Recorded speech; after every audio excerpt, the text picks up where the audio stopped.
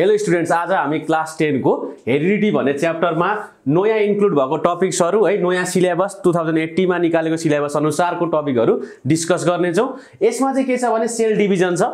Sale डिभिजनमा दुईवटा cell डिभिजन्सहरू छ। एउटा के छ? माइटोसिस सेल डिभिजन अर्को के छ? मियोसिस अथवा मियोटिक सेल डिभिजन छ। यसको हामी कसरी हुन्छ पढ्छौँ अनि यसको सिग्निफिकेन्स पढ्छौँ है। धेरै पढिराख्नु पर्दैन। अर्को छ टपिक हाम्रो डिएनए अर्को छ आरएनए अनि के छ भने क्रोमोजोमको बारेमा हामीले पढ्नुपर्छ। अनि हामी ह्युमन्समा है role of sex chromosome in the determination of sex in the human पढ्नुपर्ने छ यो हाम्रो टपिक छ सानो एउटा। त्यसपछि हामी केमा झर्छौँ भने हामी जेनेटिक्स एन्ड जेनेटिक टेक्नोलोजी पढ्छौँ। यसमा इन्क्लुड भएको टपिक के हो भन्दाखेरि एउटा हेरिडिटी हो अनि एउटा के हो मेन्टलिजम हो। यति हामी इन्क्लुड गरेर पढ्छौँ। यो हाम्रो सिलेबसमा इन्क्लुड भएको चिजहरू। सुरुमा हामी डिस्कस गरौँ सेल डिभिजनको बारेमा। सेल डिभिजनको बारेमा डिस्कस गर्नुभन्दा अगाडि थोरै एउटा कुरा जान्नुपर्ने हुन्छ। हाम्रो यो इभोल्युसन कस्तो तरिकाले भएको छ भन्दाखेरि सुरुमा भनेको यो युनिभर्समा यो हाम्रो अर्थमा भनौँ न प्रोक्यारियोटिक सेलको के भएको डेभलप भएको प्रोक्यारियोटिक सेल भनेको चाहिँ कस्तो भन्नुहुन्छ भने ट्रु न्युक्लियस नभएको। आफ्टर द्याट के भयो भन्दाखेरि त्यो प्रोक्यारियोटिक सेल चाहिँ युक्यारियोटिक सेलमा डेभलप भयो पछि। त्यो युक्यारियोटिक सेलमा चाहिँ के हुन्छ भने ट्रु न्युक्लियस हुन्छ। त्यो त सिङ्गल सेलुलर थियो पहिले। फर्दर के भइदियो भन्दाखेरि तिनीहरू युनिसेलुलर युक्यारियोटिक सेल्स चाहिँ पछि मल्टिसेलुलर युक्यारियोटिक सेलमा डेभलप भएर हामी जस्तो मल्टिसेलुलर अर्ग्यानिजम्सहरूको डेभलपमेन्ट भएको इभोल्युसन भएको अब हामी पढ्छौँ सेल डिभिजन सेलमा के के हुन्छ? न्युक्लियस हुन्छ सेल मेम्ब्रेन हुन्छ साइटोप्लाजम हुन्छ। हामीलाई त के थाहा छ भने यो अर्थमा जति पनि लिभिङ अर्ग्यानिजम छ एक दिन त मर्छ मर्छ। बट के हुन्छ भने आफू जस्तो अर्ग्यानिजम त तयार गरेर मर्छौँ हो। यो प्रोसेसमा चाहिँ हामीले सेल डिभिजन भन्ने टपिक चाहिँ पढ्न एकदमै आवश्यक छ क्या। किनकि अब हामी के गर्छौँ भने प्यारेन्ट्सले आफ्नो जेनेरेसनलाई ट्रान्सफर गर्छ अफ स्प्रिङ प्रड्युस गरेर जान्छ। हाम्रो बुवा आमा हुनुहुन्थ्यो हामी भयौँ हाम्रो छोराछोरी हुन्छन् हामी त मर्छौँ तर हाम्रो जेनेरेसन के हुन्छ कन्टिन्यू चलिरहेको छ यो ह्युमनमा पनि हुन्छ पिक्समा पनि हुन्छ सबै लिभिङ अर्ग्यानिजममा हुने यही हो। अब यो प्रक्रियामा चाहिँ सेल डिभिजनले एकदमै महत्त्वपूर्ण भूमिका खेलेको हुन्छ। अब हामीसँग सेल डिभिजन दुई प्रकारको छ एउटा माइटोसिस छ अर्को मियोटिक छ अथवा त्यसलाई मियोसिस पनि भन्छौँ। अब हाम्रो सेल डिभिजन हुँदाखेरि सेलमा भएको चिजहरू जस्तो न्युक्लियस है? न्युक्लियसको पनि डिभिजन हुन्छ। अब न्युक्लियसको डिभिजनलाई चाहिँ के भनिन्छ भने? क्यारियोकाइनेसिस भनिन्छ। अब न्युक्लियसको डिभिजन सँगसँगै साइटोप्लाजमको डिभिजन र सेल मेम्ब्रेनको पनि डिभिजन भइरहेको छ भने त्यस्तो किसिमको प्रोसेसलाई चाहिँ भन्छौँ हामी साइटोकाइनेसिस। हाम्रो फर्स्ट सेल डिभिजनको टाइप रहेको छ माइटोटिक अथवा माइटोसिस सेल डिभिजन। यसमा चाहिँ के कसरी सेलहरू डिभाइड हुन्छ त भन्ने कुरा हामी पढ्छौँ है? अब यो mitotic or mitosis cell division चाहिँ कहाँ अकर गर्छ त? वास्तवमा कहाँ हुन्छ भन्दाखेरि हाम्रो occurs in all cells of the body हाम्रो सबै सेल्स छ यो हाम्रो बडीको जुन सबै सेल्स छ सबैमा माइटोसिस सेल डिभिजन हुन्छ। एक्सेप्ट कहाँनिर चाहिँ हुँदैन भन्दा रि रिप्रोडक्टिभ अर्ग्यान्समा चाहिँ हुँदैन। रिप्रोडक्टिभ सेल्स भनौँ रिप्रोडक्टिभ सेल्समा चाहिँ माइटोसिस सेल डिभिजन अकर गर्दैन। यो माइटोसिस सेल डिभिजनमा चाहिँ के हुन्छ भने हाम्रो जुन शरीरमा भएको सेल्सहरू छ बडीमा भएको सेल्सहरू त्यो चाहिँ के हुन्छ भने दुईटामा डिभाइड हुन्छ। दुईटामा डिभाइड कसरी हुन्छ भन्दाखेरि हामीले फिगरमा देखे अनुसार फिगर पनि छ यहाँनिर। फिगरमा के छ भने एउटा के छ? सेल छ। त्यो सेलमा हेर्नुहोस् त क्रोमोजोम्स हुन्छ हो? क्रोमोजोम्स कहाँ हुन्छ भन्दाखेरि न्युक्लियसमा हुन्छ। त्यो न्युक्लियसमा भएको क्रोमोजोम्सहरू के हुन्छ भने प्यारेन्टल सरी प्याटर्नल र मेटर्नल गरेर दुई किसिमको हुन्छ भनेको हाम्रो प्यारेन्ट्सहरूबाट जुन हामीले लिएर आएको हुन्छौँ नि जुन सेल्स है क्रोमोजोम्स त्यो क्रोमोजोम्स के हुन्छ इक्वल हुन्छ हाम्रो केमा सेलमा है। त्यो क्रोमोजोम के हुन्छ भन्दाखेरि सुरुमा डिभाइड हुनुभन्दा अगाडि आफ्नो त्यो क्रोमोजोमभित्र भएको डिएनए हुन्छ डिएनएको रेप्लिकेट हुन्छ है। रेप्लिकेट भनेको के हो भन्दाखेरि एउटा क्रोमोजोमले आफू जस्तो दुईटा कपिज बनाउँछ है त दुईटामा ठ्याक्क डिभाइड हुन्छ कपी बनाउँछ। ठ्याक्कै उस्ता उस्तै कपी बनाउँछ। फिगरमा पनि देखिन्छ। फिगरमा के छ भन्दाखेरि सिङ्गल सिङ्गल यहाँनिर के छ? चारवटा क्रोमोजोमको यहाँ इक्जाम्पल लिएको छ। है चारवटा क्रोमोजोम छ। चारवटा क्रोमोजोमले प्रत्येकले के गर्दैछ भन्दाखेरि एउटाले दुईटा बनाउँदैछ आफ्नो सेकेन्ड फिगरमा होइन? आफ्नो एउटाले दुईटा बनाउँदैछ भनेको आफ्नो सेल्फ कपिज क्रिएट गर्छ। सेल्फ कपिज क्रिएट गरिसकेपछि के हुन्छ भने ठ्याक्क डिभाइड हुन्छ सेल डिभाइडबाट एउटा सेल भिन्दै बन्छ अर्को सेल भिन्दै बन्छ। But after the cell division के हुन्छ भने number of chromosome in the mother nuclei अथवा मोदर सेल मोदर सेल भनेको सुरुको सेल है के हुन्छ? इक्वल हुन्छ डटर सेलहरूसँग डटर सेलमा पनि के छ? चारवटै छ हेर्नु यहाँनिर डिभाइड हुँदाखेरि चारवटै भएको छ। मदर सेलमा पनि चारवटै छ। तर बिचको स्टेजमा के हुन्छ भने चारवटाको डिभाइड भएर कपिज रेप्लिका बन्दाखेरि आठवटा बनेको छ। अनि त्यो आठवटा दुईवटा सेल भिन्दा भिन्दै सेलमा डिभाइड हुँदाखेरि चार चारवटा के हुन्छ? इक्वली डिभाइड हुन्छ क्या? यसरी एउटा मदर सेल दुईवटा प्यारेन्ट सेलमा सरी दुईवटा डटर सेलमा के हुन्छ? डिभाइड हुन्छ। यो जुन सेल डिभिजन छ यो सेल डिभिजनलाई भन्छौँ हामी माइटोसिस सेल डिभिजन एउटा मदर न्युक्लियस दुईवटा डटर न्युक्लियसमा डिभाइड हुने जुन प्रोसेस छ यसलाई भन्छौँ हामी माइटोसिस सेल डिभिजन यसरी माइटोसिस सेल डिभिजन हुँदाखेरि मदर न्युक्लियाई भनेको सुरुको सेलमा जतिवटा क्रोमोजम थियो हाम्रो डिभाइड हुँदाखेरि दुईवटामा डिभाइड भएको थियो त्यो इन्डिभिजुअलसँग पनि एकदमै सेम सेम नम्बर अफ के हुन्छ क्रोमोजम हुन्छ जति प्यारेन्टसँग थियो है? त्यही भएर यसलाई हामी इक्वेसनल सेल डिभिजन पनि भन्छौँ है। यसलाई याद गर्नु पर्ने इक्वेसनल सेल डिभिजन पनि भन्ने गर्छौँ कहिलेकाहीँ। यो क्वेसन सोधिन पनि सक्छ है। Which cell division is known as the equational cell cell division भनेर सोधिन पनि सक्छ। सो माइटोसिस अथवा mitotic cell division is the equational cell division अब हाम्रो काम के हो भन्दाखेरि significance of mitotic cell division अथवा mitosis cell division mitosis cell division कहाँ काम लाग्छ त? यसको इम्पोर्टेन्स कहाँ छ भनेर अब हामी डिस्कस गर्छौँ। यसको इम्पोर्टेन्स कहाँ छ भन्दाखेरि mitosis plays a key key role in the physical growth physical growth भनेको हामी सानोबाट ठुलो हुने प्रोसेस अब माइटोसिसले हाम्रो फिजिकल ग्रोथलाई चाहिँ कसरी हेल्प गर्छ भन्दाखेरि अघि हामीले पढेको थियौँ एउटा मदर सेल एउटा सेल चाहिँ दुईवटा ठ्याक्कै उस्ता उस्तै सेलमा के हुन्छ डिभाइड हुन्छ. भनेको नम्बर अफ क्रोमोजम्स र जेनेटिक क्यारेक्टर के हुन्छ सेम बोकेर दुईवटा हाम्रो डटर सेल के हुन्छ? प्रड्युस हुन्छ। अब हाम्रो फिजिकल ग्रोथ हुनको लागि त नम्बर अफ सेल्स त धेरै हुनु पऱ्यो है? ओरिजिनल नम्बर अफ सेल्स मात्रै भयो भने त कहिले पनि फिजिकल ग्रोथ हुँदैन। हाम्रो सेलको नम्बर त बढ्नुपर्छ। सेलको नम्बर पनि कसरी बढ्नुपर्छ भने उस्तै जेनेटिक क्यारेक्टर भएको उस्तै फङ्सन गर्ने है अनि उति नै नम्बर अफ क्रोमोजम बोकेको के हुनुपर्छ? सेल्सहरू हुनुपर्छ। त्यसको लागि कुन सेल डिभिजन इम्पोर्टेन्स हो? Mitosis cell division important important हो। किनकि यसमा के हुन्छ? एउटा सेल दुईटामा कन्भर्ट हुन्छ विथ सेम नम्बर अफ के? Chromosome so mitosis cell division helps in physical growth अब अर्को इम्पोर्टेन्स भनेको के हो भन्दाखेरि हामीलाई कहिलेकाहीँ चोटपटक लाग्यो घाउ भयो है हाम्रो डिस्लोकेट भयो चिजहरू भनेको चोटपटक लाग्यो भने उन्सहरू क्रिएट भयो भने के हुन्छ भने त्यो एरिया त भ्याकेन्ट हुन्छ। त्यो भ्याकेन्ट एरिया फुलफिल गर्नको लागि सेल्स चाहिन्छ। सेल कसरी त्यहाँनिर प्रड्युस हुन्छ भने माइटोसिस सेल डिभिजनबाट। माइटोसिस सेल डिभिजनमा अघि भने जस्तै एउटा सेल कतिवटामा कन्भर्ट हुन्छ दुईवटामा कन्भर्ट हुन्छ है? यसरी सेल डिभिजन हुँदाखेरि हाम्रो घाउ चोटपटक लागेको ठाउँ चाहिँ छिटो रिकभर हुन माइटोसिस सेल डिभिजनले हेल्प गर्छ। अर्को भनेको के हो भन्दाखेरि सेक्सुअल रिप्रोडक्सन नहुने प्लान्ट्सहरू हुन्छ नि तिनीहरूमा चाहिँ असेक्सुअल रिप्रोडक्सनको लागि हेल्प गर्नको लागि यो माइटोसिस सेल डिभिजनले निकै हेल्प गर्छ। किनकि रिप्रोडक्सन भनेको के हो भने आफू जस्तै अर्को अफ स्प्रिङ प्रड्युस गर्ने हो। भनेको आफ्नो जेनेरेसनलाई कन्टिन्यू गर्ने काम हो रिप्रोडक्सन भनेको त। अब हाम्रो सेक्सुअल पार्ट नै छैन अथवा रिप्रोडक्टिभ अर्ग्यानै छैन भने त के हुन्छ भने त्यो प्लान्ट्सहरूमा त असेक्सुअल रिप्रोडक्सन हुनु पर्यो। असेक्सुअल रिप्रोडक्सन हुँदा पनि अफस्प्रिङ कस्तो जन्मिनु पर्यो भन्दा आफू जस्तै हुनु पर्यो। आफू जस्तै हुनको लागि नम्बर अफ क्रोमोजम के हुनुपर्छ? सेम हुनुपर्छ। सो माइटोसिस सेल डिभिजनमा के छ? नम्बर अफ क्रोमोजम सेम बसिदिन्छ। असेक्सुअल रिप्रोडक्सन हुँदाखेरि ठ्याक्कै अफस्प्रिङ चाहिँ प्यारेन्ट जस्तै हुन्छ है? सो हाम्रो माइटोसिस सेल डिभिजनले चाहिँ असेक्सुअल रिप्रोडक्सनमा हेल्प गर्छ in case of some plants अब लास्टमा भुल्नै नहुने खालको क्यारेक्टरिस्टिक अथवा सिग्निफिकेन्स भनेको चाहिँ के भन्दा? इट मेन्टेन्स जेनेटिक स्टाबिलिटी भनेको जेनेटिक स्टाबिलिटीलाई मेन्टेन गरिदिन्छ। भनेको अर्ग्यानिजमै पछि के हुन्छ जिन्सहरू त फरक फरक हुन्छ नि त। हो मान्छेको गाईबस्तुको है अरू प्लान्ट्सहरूको के हुन्छ जेनेटिक त डिफ्रेन्ट डिफ्रेन्ट हुन्छ।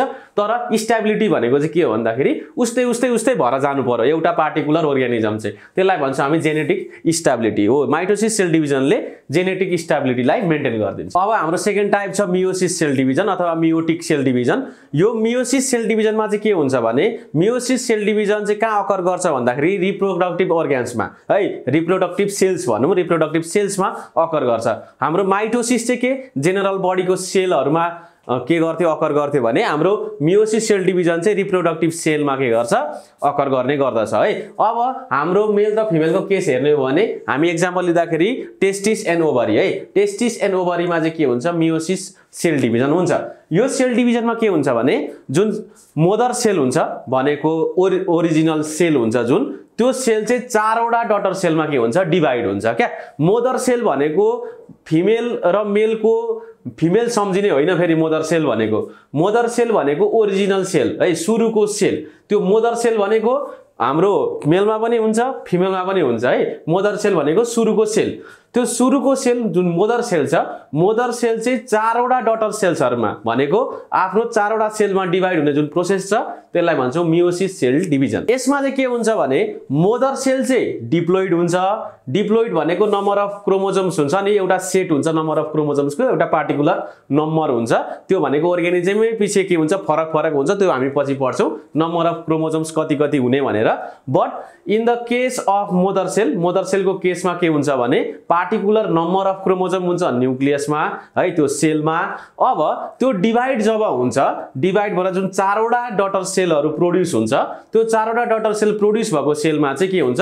हाप्लोइड क्रोमोजम मात्रै हुन्छ। ठ्याक्कै नम्बर अफ क्रोमोजम्स के हुन्छ? आधा आधा आधा भएर छुट्टिएर सेल डिभाइड हुन्छ। जस्तै मोदर सेलमा forty six number of chromosome छ भने चारवटा डटर सेलमा के हुन्छ? Twenty three twenty three twenty three अनि twenty three number of chromosomes हुन्छ। सबैमा के हुन्छ? मोदर सेलको ठ्याक्कै हाफ क्रोमोजम भएर डिभाइड हुन्छ क्या? भनेको फोर्टी सिक्स छ भने twenty three twenty three twenty three twenty three चारवटालाई नै इक्वल नम्बर चाहिँ जान्छ बट मोदर सेलमा भएको क्रोमोजमको ठ्याक्कै आधी आधी गरेर बाँडिन्छ क्या? त्यसलाई भन्छौँ हामी हाप्लोइड क्रोमोजम्स है त? अनि मोदर सेलमा के हुन्छ? डिप्लोइड क्रोमोजम हुन्छ। अब यसरी छुटिएर बनेको डटर सेलमा चाहिँ के हुन्छ भन्दाखेरि जेनेटिक मेकअप चाहिँ अलिक डिफ्रेन्ट टाइपको हुन्छ।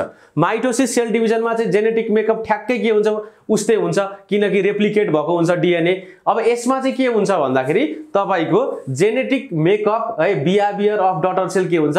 डिफ्रेन्ट डिफ्रेन्ट हुनसक्छ मोदर सेल भन्दा। अब हाम्रो यो सिग्निफिकेन्स अफ मियोटिक सेल डिभिजनमा चाहिँ के छ भन्दाखेरि यसले त केमा हेल्प गर्ने भन्दाखेरि सेक्सुअल रिप्रोडक्सनमा हेल्प गर्ने भयो है त? अब सेक्सुअल रिप्रोडक्सनमा यसले हेल्प गर्छ। अर्को के छ भन्दाखेरि it helps in the evolution by bringing variations हामीले अघि के भनेको थियौँ भने मोदर सेलमा भन्दाखेरि डटर सेलमा के हुन्छ? जेनेटिक के हुन्छ भन्दाखेरि मेकअप डिफ्रेन्ट डिफ्रेन्ट हुन्छ।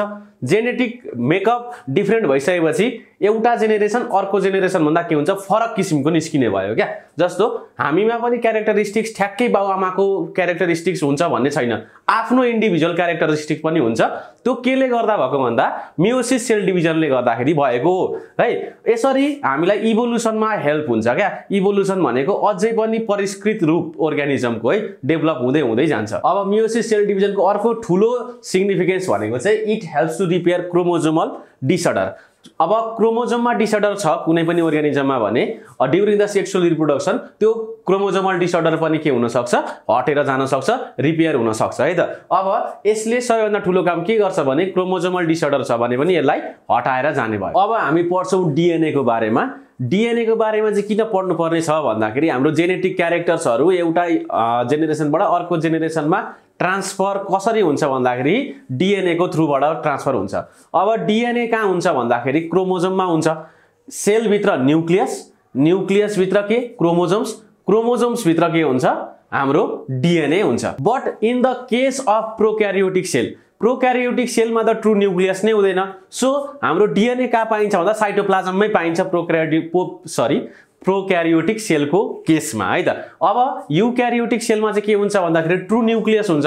त्यो ट्रु न्युक्लियसभित्र क्रोमोजम हुन्छ। त्यो क्रोमोजमभित्र पनि के पाइन्छ? डिएनए पाइन्छ। Which is responsible for transformation अथवा ट्रान्सफरिङ अफ जेनेटिक क्यारेक्टर्स अथवा जेनेटिक इन्फर्मेसन भाइरसको केसमा चाहिँ के हुन्छ भने DNA is covered by the capsid त्यो क्याप्सिड चाहिँ केले बनेको हुन्छ भन्दा प्रोटिनले बनेको हुन्छ in the case of virus अब अर्को के छ भने in a DNA a single unit हामीले फिगरमा देखे जस्तै एउटा सिङ्गल युनिट चाहिँ के हुन्छ भन्दाखेरि single unit is form by the combination of nitrogen base and deoxy deoxy ribose sugar है डिअक्जी राइबोज सुगर र नाइट्रोजन बेसको कम्बिनेसनबाट एउटा सिङ्गल युनिट बनेको हुन्छ। As you can see in the figure है फिगरमा पनि देख्न सक्नुहुन्छ। त्यसरी बनेको सिङ्गल युनिटलाई हामी के भन्छौँ? न्युक्लियोसाइड भन्छौँ। बट अब अर्को के हुन्छ भन्दाखेरि हाम्रो deoxy ribo sugar nitrogen base र फोस्फेट आयनको कम्बिनेसनबाट अर्को युनिट बनेको हुन्छ। त्यो युनिटको नाम चाहिँ के हो भन्दा न्युक्लियोटाइड हो। है यसरी डबल स्ट्रेन्ड हुन्छ। डबल स्ट्रेन्ड हुन्छ डिएनए भनेको दुईवटा धर्सा हुन्छ यता साइडमा है दुईवटा फिगरमा पनि देख्न सक्नुहुन्छ। डबल स्ट्रेन्ड हुन्छ। डबल स्ट्रेन्डलाई केले जोडिएको हुन्छ? हाम्रो नाइट्रोजन बेसहरूको कम्बिनेसनले जोडेको हुन्छ है। तिनीहरूलाई के भन्छौँ हामी? न्युक्लियोसाइड भन्छौँ है फिगरमा देखे जस्तै। अब यो नाइट्रोजन बेसको कुरा गर्दा चाहिँ डिएनएको केसमा चारवटा नाइट्रोजन बेस हुन्छ। यो चारवटा नाइट्रोजन बेसको के हुन्छ भन्दाखेरि हाम्रो कम्बिनेसन हुन्छ नि फिक्स कम्बिनेसनमा बसेको हुन्छ है। हाम्रो डिएनएमा भएको चारवटा नाइट्रोजन बेस चाहिँ के के भन्दा एडिनिन थाइमिन ग्वानिन अनि साइटोसिन है त? अब यिनीहरूको फिक्स कम्बिनेसन हुन्छ भनेको थिएँ है मैले। भनेको हाम्रो सुरुमा चाहिँ एडिनिन। यो एडिनिन भनेको चाहिँ थाइमिनसँग मात्रै लिङ्क भएर बसेको हुन्छ। Adenine is link with the thymine by making a double bond. Double bond बनाएर एडिनिन थाइमिनसँग कनेक्ट भएर बसेको हुन्छ। अब अर्को के छ? Guanine guanine is link with the cytosine guanine चाहिँ साइटोसिनसँग लिङ्क भएर बसेको हुन्छ विथ ट्रिपल बोन्ड है? By making triple bond guanine is link with the cytosine यसरी हाम्रो फिक्स कम्बिनेसन हुन्छ। के के को एडिनिन र थाइमिनको ग्वानिन र साइटोसिनको कम्बिनेसन हुन्छ डिएनएमा अनि डिएनएमा के हुन्छ भने स्मल स्मल सेगमेन्ट्स हुन्छ अझै। यहाँ सेलै देखिँदैन आँखाले एक त। सेलभित्र पनि न्युक्लियस हुन्छ। न्युक्लियसभित्र पनि क्रोमोजोम हुन्छ क्रोमोजोमभित्र पनि डिएनए हुन्छ। अब डिएनएमा पनि के हुन्छ भने स्मल स्मल सेगमेन्ट्सहरू हुन्छ। स्मल स्मल सेगमेन्ट्सहरूले चाहिँ के हो त कोड रिप्रेजेन्ट गर्छ डिफाइनाइड क्यारेक्टरिस्टिकको है त? हो त्यो कोड त्यो स्मल सेगमेन्टलाई हामी के भन्छौँ भने जिन भन्छौँ क्या? जिन जिन चाहिँ अझै पनि के हो? स्ट्रक्चरल युनिट हो क्या? एकदमै सानोभन्दा सानो भाग सेलको भनेको चाहिँ हामी जिनलाई मान्न सक्छौँ। जिन चाहिँ डिएनएमा हुन्छ है? Which is responsible for the transferring of genetic characteristics to the offspring एउटा जेनेरेसनबाट अर्को जेनेरेसनमा क्यारेक्टरिस्टिकको ट्रान्सफर गर्न इभोल्युसन गराउनको लागि चाहिँ यो जिनको एकदमै महत्त्वपूर्ण भूमिका हुन्छ which is the smallest part है त? यो भनेको अझै डिएनएमा हुन्छ है त? अर्को के छ भने हाम्रो टपिक आरएनए है ribonucleic acid ribonucleic acid चाहिँ कस्तो किसिमको हुन्छ भन्दा यो डिएनए भन्दा अलिकति फरक किसिमको हुन्छ। डिएनए चाहिँ कहाँ पाइन्छ भन्दाखेरि प्रोक्यारियोटिक सेलको साइटोप्लाजम र युक्यारियोटिक सेलको न्युक्लियसभित्रको पनि क्रोमोजोमभित्र पाइन्छ। अब हाम्रो आरएनए चाहिँ कहाँ पाइन्छ भन्दाखेरि साइटोप्लाजममा पाइन्छ। साइटोप्लाजम पाइन्छ अनि क्रोमोजोममा पनि केही सङ्ख्यामा भने रहेको चाहिँ हुन्छ आरएनए। अब आरएनएको स्ट्रक्चर हेर्नु पर्दाखेरि यहाँनिर फिगरमा देख्न सक्नुहुन्छ। यसमा के हुन्छ भने सिङ्गल स्ट्यान्डर्ड हुन्छ यो भनेको एउटा मात्रै न्यु न्यु पोलियो पोलिन्युक्लियोटाइड भन्छौँ। न्युक्लियोटाइड न्युक्लियोटाइडको कम्बिनेसन हो आरएनए भनेको। त्यसलाई पोलिन्युक्लियोटाइड भन्छौँ। त्यो न्युक्लियोटाइडमा के हुन्छ भने अगाडि पनि हामीले भनिसकेको छ। न्युक्लियोटाइड के केले बनेको हुन्छ? न्युक्लियोटाइड हाम्रो डिएनएको केसमा भनेको nitrogen base deoxy ribo sugar अनि फोस्फेट आयोनहरूले बनेको हुन्छ। आरएनएको केसमा के हुन्छ? न्युक्लियोटाइड भनेको हाम्रो नाइट्रोजन बेस फोस्फेट आयोन अनि राइबोस सुगर मिलेर बनेको हुन्छ। अब न्युक्लियोटाइड छ सिङ्गल के छ? स्ट्यान्डर्ड छ यो। अब त्यो नाइट्रोजन बेसेसहरू चाहिँ कुन कुन हुन्छ भन्दाखेरि यसको केसमा चाहिँ एडिनिन ग्वानिन साइटोसिन अनि थाइमिनको ठाउँमा के हुन्छ यहाँ? युरासिल हुन्छ। उता डिएनएमा चाहिँ थाइमिन हुन्छ नाइट्रोजन बेस हाम्रो आरएनएको केसमा चाहिँ के हुन्छ? एउटा युरासिलले रिप्लेस गरिदिन्छ। थाइमिनलाई त्यति मात्रै डिफ्रेन्ट हो। आरएनएलाई हामीले तिनवटा टाइपमा डिभाइड गर्न सक्छौँ। एउटा मेसेन्जर आरएनए त्यसलाई भन्छौँ हामी एमआरएनए अर्को भनेको ट्रान्सफर आरएनए त्यसलाई भन्छौँ हामी टिआरएनए अर्को भनेको राइबोजोमल आरएनए जसलाई भन्छौँ हामी आरआरएनए। यो तिनवटा टाइप्सको आरएनए हुन्छ।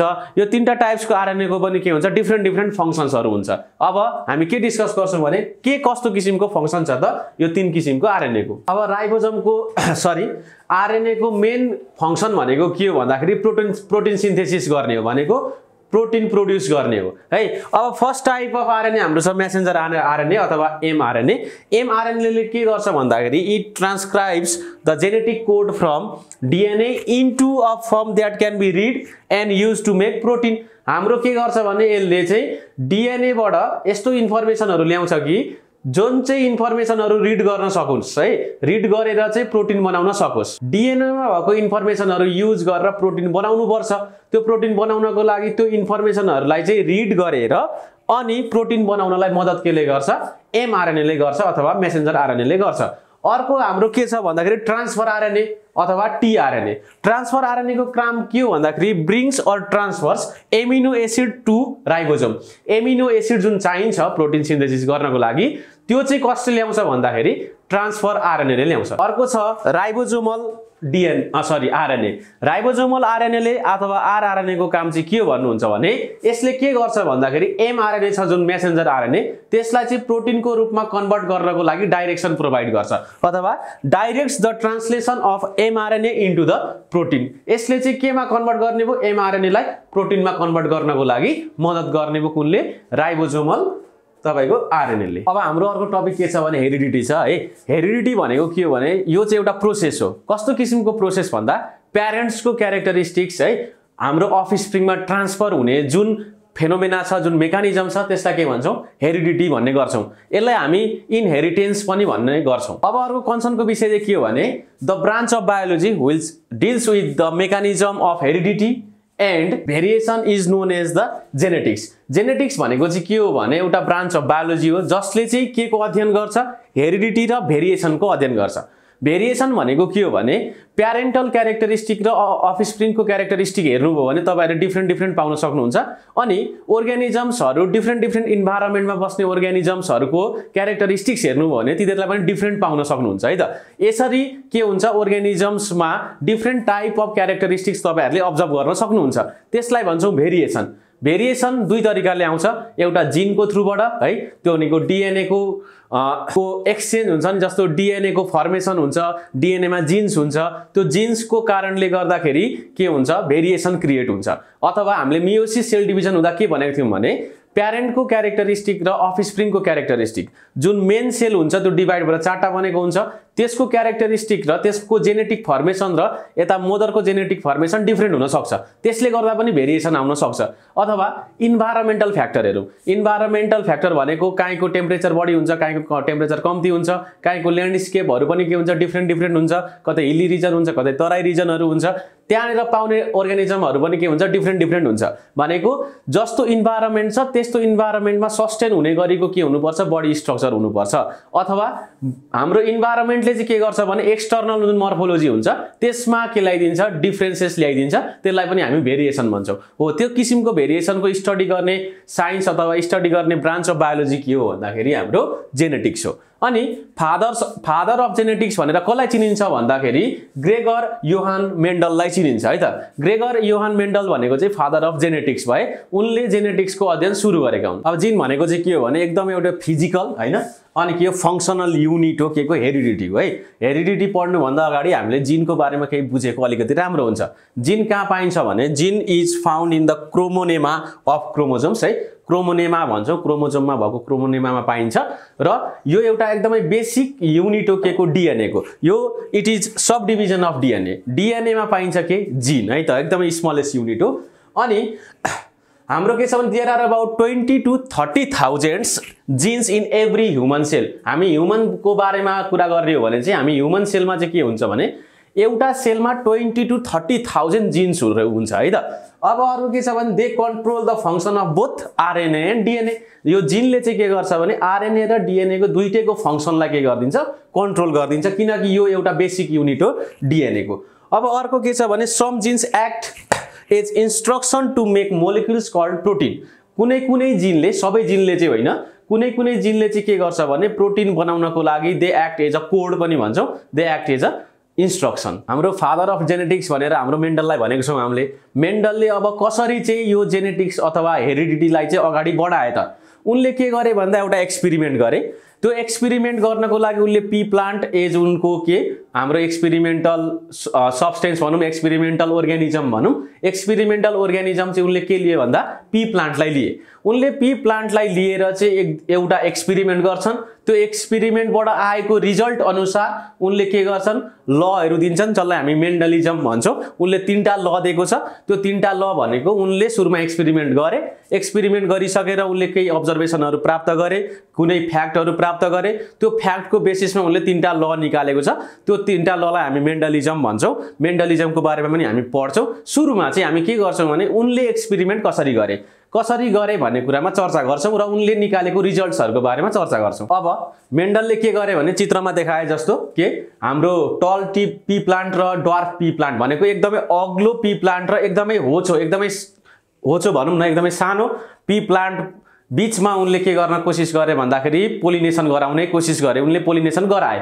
भनेको पी प्लान्ट लिने एउटा ठुलो अग्लो पी प्लान्ट लिने एउटा के? साह्रै होचो पी प्लान्ट लिने। यानि कि जेनेटिकल्ली के हुन्छ भने they are different genetic wise चाहिँ के हुन्छ? अग्लो प्लान्टको जेनेटिक्स जिन र डर्फ प्लान्टको जिनमा के हुन्छ? डिफ्रेन्स हुन्छ है त? अब कस्तो खालको डिफ्रेन्स हुन्छ भन्दाखेरि हाम्रो टल पी प्लान्टमा यहाँ टल पी प्लान्टमा तपाईँको जिनको combination capital T capital T छ। है this is the combination of gene है अथवा कम्बिनेसन अफ क्रोमोजोम भनौँ। क्रोमोजोमको कम्बिनेसन कस्तो छ? क्यापिटल टी छ। अब हाम्रो होचो डर्क पी प्लान्ट भनेको एकदमै होचो। यसको जेनेटिक्स कस्तो हुन्छ भन्दाखेरि डर्फ पी प्लान्ट यसको छ स्मल टी स्मल टी है यसलाई भन्छ हामी जेनेटिक्स अथवा जिनको के डिभिजन यस्तो हुन्छ टल पी प्लान्टमा यस्तो डर्फ पी प्लान्टमा स्मल टी स्मल टी हुन्छ। अब के गरे भन्दाखेरि मेन्डलले यो टल पी प्लान्ट र डर्फ पी प्लान्ट बिचमा क्रस पोलिनेसन गराए। क्रस पोलिनेसन गराउन सकिन्छ प्लान्टमा होइन? एउटा अग्लो लिने एउटा होचो लिने क्रस पोलिनेसन गराउने। क्रस पोलिनेसन गराउँदाखेरि उनले के पाए भन्दाखेरि सुरुको फर्स्ट जेनेरेसनमा है फर्स्ट जेनेरेसनमा के भयो भन्दा क्रस गराउँदाखेरि फर्स्ट जुन पी प्लान्ट जुन प्रोड्युस हुन्छ पोलिनेसन गराउँदाखेरि त्यो कस्तो पाइयो? क्यापिटल टी स्मल टी हुने भयो जेनेटिकल्ली। यसको एउटा आउँछ यसको एउटा आउँछ क्यापिटल टी र स्मल टी एक एकवटा आउने भयो है। अब अर्को अफ स्प्रिङ प्रोड्युस हुँदाखेरि के हुने भयो? यो क्यापिटल टी र यो small T. Capital T small T हुने भयो। अब यहाँको यो क्यापिटल टी र यो स्मल टी यो भयो थर्ड अफ स्प्रिङ यो भयो फोर्थ अफ स्प्रिङ। भनेको यसरी टल टी प्ला पी प्लान्ट र डर्फ पी प्लान्ट बिच क्रस गराउँदाखेरि फर्स्ट जेनेरेसनमा जति पनि तपाईँ अफ स्प्रिङ देख्दै हुनुहुन्छ है यो first one two three four सबैको जेनेटिकल्ली सबै एउटै छ। हेर्नु है capital T small T capital T small T capital small capital small छ। यसरी हेर्नु टल पी प्लान्टको र डर्फ पी प्लान्ट दुइटैको के जेनेटिक्स यो अफ स्प्रिङहरूले बोकेको छ। टलको पनि बोकेको छ ड्वार्फको पनि बोकेको छ टलको पनि बोकेको छ ड्वार्फको पनि बोकेको छ। यसरी फर्स्ट जेनेरेसनमा हेर्नुहुन्छ भने एउटै किसिमको अफ स्प्रिङहरू पाइयो। एउटै अफ एउटै किसिमको अफ स्प्रिङमा पनि कस्तो भने दुइटै प्यारेन्ट्स है टलको पनि ड्वार्फको पनि दुइटैको जिनहरू बोकेर आएको छ सबै अफ स्प्रिङहरूले यसरी दुइटै किसिमको जेनेटिक्स बोकेर आएको छ अफ स्प्रिङले भने त्यस्तो किसिमको अफ स्प्रिङलाई भन्छौँ हामी हाइब्रिड है हाइब्रिड जेनेरेसन अथवा हाइब्रिड अफ स्प्रिङहरू अफ स्प्रिङ भन्छौँ। यिनीहरू सबै के भए? हाइब्रिड अर्गानिजम्सहरू भए। यहाँ जति पनि पहिलो जेनेरेसनमा क्रस पोलिनेसन गराउँदाखेरि प्रोड्युस भएको छ अफ स्प्रिङहरू सबै के हुन्छ? हाइब्रिड हुने भए। अर्को इन्ट्रेस्टिङ फ्याक्ट यहाँनिर के देखिन्छ भने यसरी तपाईँले त अब यो अफ स्प्रिङहरू हेर्दा कस्तो देखिन्छ बाहिरबाट? एक्सटर्नली हेर्दा कस्तो देखिन्छ त? अग्लो र होचो दुइटैको क्रस छ। भनेको अग्लो र होचो दुइटैको क्रस छ भने यिनीहरूको साइज मिडियम हुन्छ कि? भन्ने तपाईँहरूको दिमागमा आयो होला। बट त्यस्तो हुँदैन। यहाँनिर यो क्यापिटल टी भनेको के हुन्छ? डोमिनेन्ट क्यारेक्टर हुन्छ। स्मल टी भनेको रिसेसिभ क्यारेक्टर हुन्छ। डोमिनेन्ट क्यारेक्टर भनेको चाहिँ कस्तो भने एउटाले अर्कोलाई के गर्ने? सप्रेस गरिदिने। भनेको स्मल टीलाई क्यापिटल टीले सप्रेस गरिदिन्छ। यो क्यापिटल टी के को जेनेटिक्स हो? टल पी प्लान्टको जेनेटिक्स हो। भनेपछि तपाईँको फर्स्ट जेनेरेसनमा सबैसँग क्यापिटल टी छ सबैसँग स्मल टी छ। क्यापिटल टी भनेको डोमिनेन्ट क्यारेक्टर हुन्छ। डोमिनेन्ट भनेको अब यो जेनेरेसनको सबै अफ स्प्रिङहरू कस्तो हुन्छ? टल देखिन्छ। देखिन चाहिँ टल देखिन्छ के मर्फोलोजिकल्ली भनेको?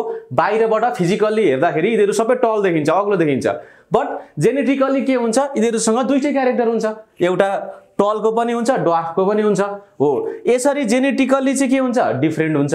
बट तपाईँले एक्सटर्नल्ली फिजिकल्ली हेर्नु भने चाहिँ सबै हाइब्रिडहरू के हुन्छ? टल हुन्छ। यो टलको मिनिङ के हो भने टल देखियो नि त। टल देखियो भनेपछि डोमिनेन्ट क्यारेक्टर कुन भयो? क्यापिटल टी भयो डोमिनेन्ट जिन स्मल टी भने के भयो? रिसेसिभ त्यो चाहिँ देखिँदैन। हुन चाहिँ हाइब्रिडमा हुन्छ त्यो जिन तर देख्न चाहिँ देखिँदैन। एक्सटर्नली देखिँदैन फिजिकली देखिँदैन। त्यस्तो किसिमको क्यारेक्टरलाई भन्छौँ हामी रिसेसिभ क्यारेक्टर जुन चाहिँ देखिन्छ त्यसलाई भन्छौँ हामी डोमिनेन्ट क्यारेक्टर यो क्यापिटल टीले डोमिनेन्ट क्यारेक्टर देखाउँछ स्मल टीले रिसेसिभ क्यारेक्टर देखाउँछ। यो भयो फर्स्ट जेनेरेसनको कुरा। यो भयो F one generation first generation पहिलो वंश कस्तो हुनसक्छ पहिलो वंश यसरी हाइब्रिडहरू निस्किन्छ। अब यसमा दुईवटा टर्म छ एउटा फिनोटाइप र एउटा जिनोटाइप क्यारेक्टर भन्ने। फिनोटाइप क्यारेक्टर भनेको अघि मैले भने जस्तो बाहिरबाट हेर्दा देखिने क्यारेक्टर। यो सबै के हुन्छ? टल हुन्छ है? त्यो भनेको फिनोटाइप क्यारेक्टर हो। यो क्यापिटल टिटी भएको हेर्दाखेरि के दिन्छ? अग्लो देखिन्छ। त्यो भनेको फिनोटाइप क्यारेक्टर हो। स्मल टिटी भएको पी प्लान्ट कस्तो देखिन्छ? डार्क देखिन्छ एकदमै होचो देखिन्छ। त्यो भनेको त्यसको फिनोटाइप क्यारेक्टर हो। जिनोटाइप भनेको जिन कस्तो छ? क्यापिटल टिटी छ स्मल टिटी छ। यो भनेको जिनोटाइप क्यारेक्टर भयो। यहाँनिर जिनोटाइप क्यारेक्टर कस्तो छ? हाइब्रिड छ। Capital T small T capital T small T है त? यहाँनिर चाहिँ फिनोटाइप बाहिरबाट देखिने जिनोटाइप भनेको एक्चुअली जिनमा के छ? त्यसलाई भन्छौँ जिनोटाइप क्यारेक्टर अब एफ वान जेनेरेसनमा के भयो? सबै हाइब्रिड आयो। यसमा हामीले कस के गराउनु पर्छ क्रस पोलिनेसन गराउनुपर्छ। किनकि सेल्फ पोलिनेसनबाट त पोसिबल छैन। सेल्फ पोलिनेसन गराउनु भयो भने त क्यापिटल टिटी र क्यापिटल टिटी बिचमै हुन्छ। सेल्फ गराउनु भयो भने स्मल टिटी र स्मल टिटी बिचमै हुन्छ के? पोलिनेसन त्यही भएर हामीले टल र डार्क बिचको क्रस हेर्नु पऱ्यो भने क्रस पोलिनेसन गराउनु पर्यो। अब यो भयो एफ वान जेनेरेसन अब further F two generation second generation कस्तो हुन्छ? सेकेन्ड जेनेरेसनमा हामी के गर्छौँ भने मेन्डलले के गरे भन्दा अब यो हाइब्रिड छ नि यो हाइब्रिड लिए उनले। हाइब्रिड कस्तो लिए भने हाइब्रिड एउटा पी प्लान्ट लिए। पी प्लान्टमा हेर्नु है क्रस पोलिनेसन र सेल्फ पोलिनेसन दुइटै हुन्छ। एउटा तपाईँ हाइब्रिड प्लान्ट लिनु त्यसमै सेल्फ पोलिनेसन गराइदिनु। सेल्फ पोलिनेसन गर्दाखेरि अब त्यसबाट निस्किएको अरू पी प्लान्टहरू हेर्ने है त? अब हामीले यो चारवटा त एउटै हो जिनोटाइप हेर्नु त सबैको एउटै छ। यो चारवटा मध्ये कुनै एउटा प्लान्ट लिएर त्यसमा सेल्फ पोलिनेसन गराइदिने। भनेको क्यापिटल टी स्मल टी र क्यापिटल टी स्मल टी बिचमा के गराइदिने? सेल्फ पोलिनेसन गराउने। है? सेल्फ पोलिनेसन र क्रस पोलिनेसन भन्ने हुन्छ। के गराउने? सेल्फ पोलिनेसन गराउने। एउटै प्लान्ट है अब यो। नजुकिनु यहाँ दुईवटा दुईतिर लेखेको छ यो क्रस यसमा क्रस गराएर कस्तो निस्किन्छ अफ स्प्रिङ भनेर बुझाउनको लागि मात्रै दुईवटा लेखेको। बट प्लान्ट चाहिँ एउटै हो सेल्फ पोलिनेसन गराउने। अब सेल्फ पोलिनेसन गराउँदा एफ टू जेनेरेसनमा कस्तो निस्किने भयो? क्यापिटल टिटी हुने भयो। यो क्यापिटल टी क्यापिटल टी। अर्को क्यापिटल टी र स्मल टी हुने भयो। यो क्यापिटल टी अनि यो स्मल टी। अब पालो कसको? स्मल टी र क्यापिटल टीको। बट के हुन्छ भने यहाँ dominant character is capital T so capital टीलाई अगाडि लेख्ने। क्यापिटल टी स्मल टी भयो। अब फाइनल्ली के हुने भयो? स्मल टी स्मल टी आउने भयो। अब एफ टू जेनेरेसनमा चाहिँ यसलाई भन्छौँ सेकेन्ड जेनेरेसन दोस्रो चोटि निस्केको वंशहरू। F two generation F two जेनेरेसनमा हेर्नु त जे जिनोटाइप कस्तो छ? Capital T T small T T capital T small T small T small T छ यो भनेको जिनोटाइप भयो। जिनोटाइपमा हेर्नु एउटा प्योर टल प्लान्ट निस्क्यो एउटा प्योर डार्क प्लान्ट निस्क्यो। यो एकदमै प्योर टल भयो यो प्योर के भयो? यो प्योर डार्क भयो।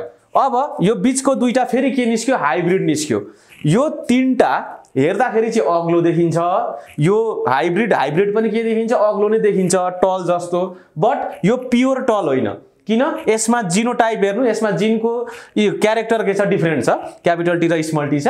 यसमा क्यापिटल टी क्यापिटल टी छ। तर हेर्दाखेरि यो तिनटै अग्लो देखिन्छ। यो मात्रै के देखिन्छ? होचो देखिन्छ। अब हामीलाई के भन्छ? फर्स्ट जेनेरेसन र सेकेन्ड जेनेरेसनको कुरा भयो। क्रस गराउँदाखेरि बुझ्नुपर्ने कुरा यति हो। फर्स्ट जेनेरेसनबाट सेकेन्ड जेनेरेसनमा आयौँ हामी। अब सेकेन्ड जेनेरेसनमा फिनोटाइप र जिनोटाइप भन्ने कुरा हुन्छ है? फिनोटाइप। हामीलाई सोधिरहेको हुन्छ फिनोटाइप रेसियो र जिनोटाइप रेसियो लेख भनेर है? अब फिनोटाइप भनेको बाहिरबाट हेर्दा कस्तो देखिन्छ? अग्लो र होचो होइन त? बाहिरबाट हेर्दाखेरि अब कुन कुन अग्लो देखिन्छ? एउटा दुईवटा तिनवटा अग्लो देखिने भयो एउटा होचो देखिने भयो। भनेपछि फिनोटाइप रेसियो कति भयो? थ्री इज टू वान भयो। तिनवटा अग्लो एउटा होचो थ्री इज टू वान अब जिनोटाइप जेनेटिकली कस्तो छ? जेनेटिक्स जेनेटिकली क्यारेक्टरहरू कस्तो कस्तो छ? यहाँ हेर्नु है। एउटा टल एउटा क्यापिटल टिटी दुईटा small capital T small T capital T small T दुईटा हाइब्रिड अनि एउटा डर्फ एउटा प्योर टल दुईटा के हाइब्रिड एउटा के प्योर डर्फ भनेपछि एउटा प्योर टल दुईटा हाइब्रिड एउटा प्योर डर्फ भयो। यो भनेको चाहिँ जिनोटाइप रेसियो हो। Phenotype ratio of first second generation है? फर्स्ट जेनेरेसन होइन सेकेन्ड जेनेरेसनको फिनोटाइप रेसियो कस्तो हुँदो रहेछ? Three is to one genotype कस्तो? One is to two two is to one? यो भनेको जिनोटाइप रेसियो भयो। यसरी क्वेसन सोध्ने गरिन्छ इक्जाम अब हामीलाई कस्तो खालको क्वेसन अराइज हुनसक्छ भने मेन्डलले चाहिँ आफ्नो एक्सपेरिमेन्टको लागि किन पी प्लान्ट नै प्रिफर गरे त? किन पी प्लान्ट लिए त? उनले आफ्नो एक्सपेरिमेन्टको लागि भनेर क्वेसन पनि सोध्ने गरिन्छ। यसको एन्सर चाहिँ के हुन्छ भने हामी मल्टिपल एन्सरहरू दिन सक्छौँ। यसको लागि चाहिँ केही कारणहरू छ मेन्डलले यो पी प्लान्ट लिनुमा यो एक्सपेरिमेन्टको क्रममा हेरिडिटी हेरिडिटीको प्रोसेसको बारेमा स्टडी गर्ने क्रममा पी प्लान्ट लिन्छन्। पी प्लान्ट लिने केही छ? रिजन्सहरू छ। त्यो रिजन्सहरू यहाँ लिस्ट आउट पनि छ। म वान बाई वान एक्सप्लेन गर्छु। वान नम्बरमा के छ भने पी प्लान्ट भनेको नेचुरल्ली सेल्फ पोलिनेटिङ हो। भनेको नेचुरल्ली चाहिँ कस्तो के अकर हुन्छ? सेल्फ पोलिनेसन अकर हुन्छ। बट आर्टिफिसियल्ली हामी आफै पनि आर्टिफिसियली के गरिदिन सक्छौँ भने क्रस पोलिनेसन गराउन सक्छौँ। त्यही भएर त प्योर टल र प्योर डर प्लान्ट लिने त्यो बिचमा क्रस पोलिनेसन गराइदिने। क्रस पोलिनेसन गराएर फर्स्ट जेनेरेसन लिने। अनि त्यसपछि फर्स्ट जेनेरेसनमा हाइब्रिड आउँछ। हाइब्रिडमा चाहिँ के गराइदिने? सेल्फ पोलिनेसन गराइदिने अथवा सेल्फ पोलिनेसन त नेचुरल्ली भइहाल्छ। यो एउटा मेन रिजन भयो। अर्को के छ भने यो पी प्लान्टसँग नम्बर अफ डिस्टिङ्युजेबल के हुन्छ? क्यारेक्टर्सहरू हुन्छ। भनेको पी प्लान्टमा के हुन्छ भने एउटा अग्लो पी प्लान्ट हुन्छ अर्को होचो पी प्लान्ट हुन्छ। एकदमै क्यारेक्टरिस्टिक के हुन्छ? डिस्टिङ्युजेबल हुन्छ है त? अब अर्को के हुन्छ? यिनीहरूको फ्लावर हेर्ने। कतिपयको फ्लावर के हुन्छ? रेड हुन्छ कतिपयको व्हाइट हुन्छ। फ्लावर को बिचमा पनि के क्यारेक्टरिस्टिक हेर्न मन लाग्यो भने हामीले क्रस पोलिनेसन र सेल्फ पोलिनेसन गराउन सक्यो भनेको सेतो र रातो फुल है? सेतो र रातो फुलले पी प्लान्ट बिचमा पनि क्रस गराउन सक्यो। तिनीहरूको क्यारेक्टरिस्टिक पनि हामी भिन्दै हेर्न सक्यो। फर्स्ट जेनेरेसनमा कस्तो किसिमको पी प्लान्ट निस्किन्छ? सेकेन्ड जेनेरेसनमा कस्तो पी प्लान्ट निस्किन्छ र तिनीहरूको फ्लावरको कलर कस्तो हुन्छ? यसरी हामी एउटै पी प्लान्टको डिफ्रेन्ट डिफ्रेन्ट क्यारेक्टरिस्टिक एउटा हाइटको अर्को फ्लावरको अर्को सिडको पनि हुनसक्छ। राउन्ड सिड र रिङ्कल्ड सिड हुन्छ होइन?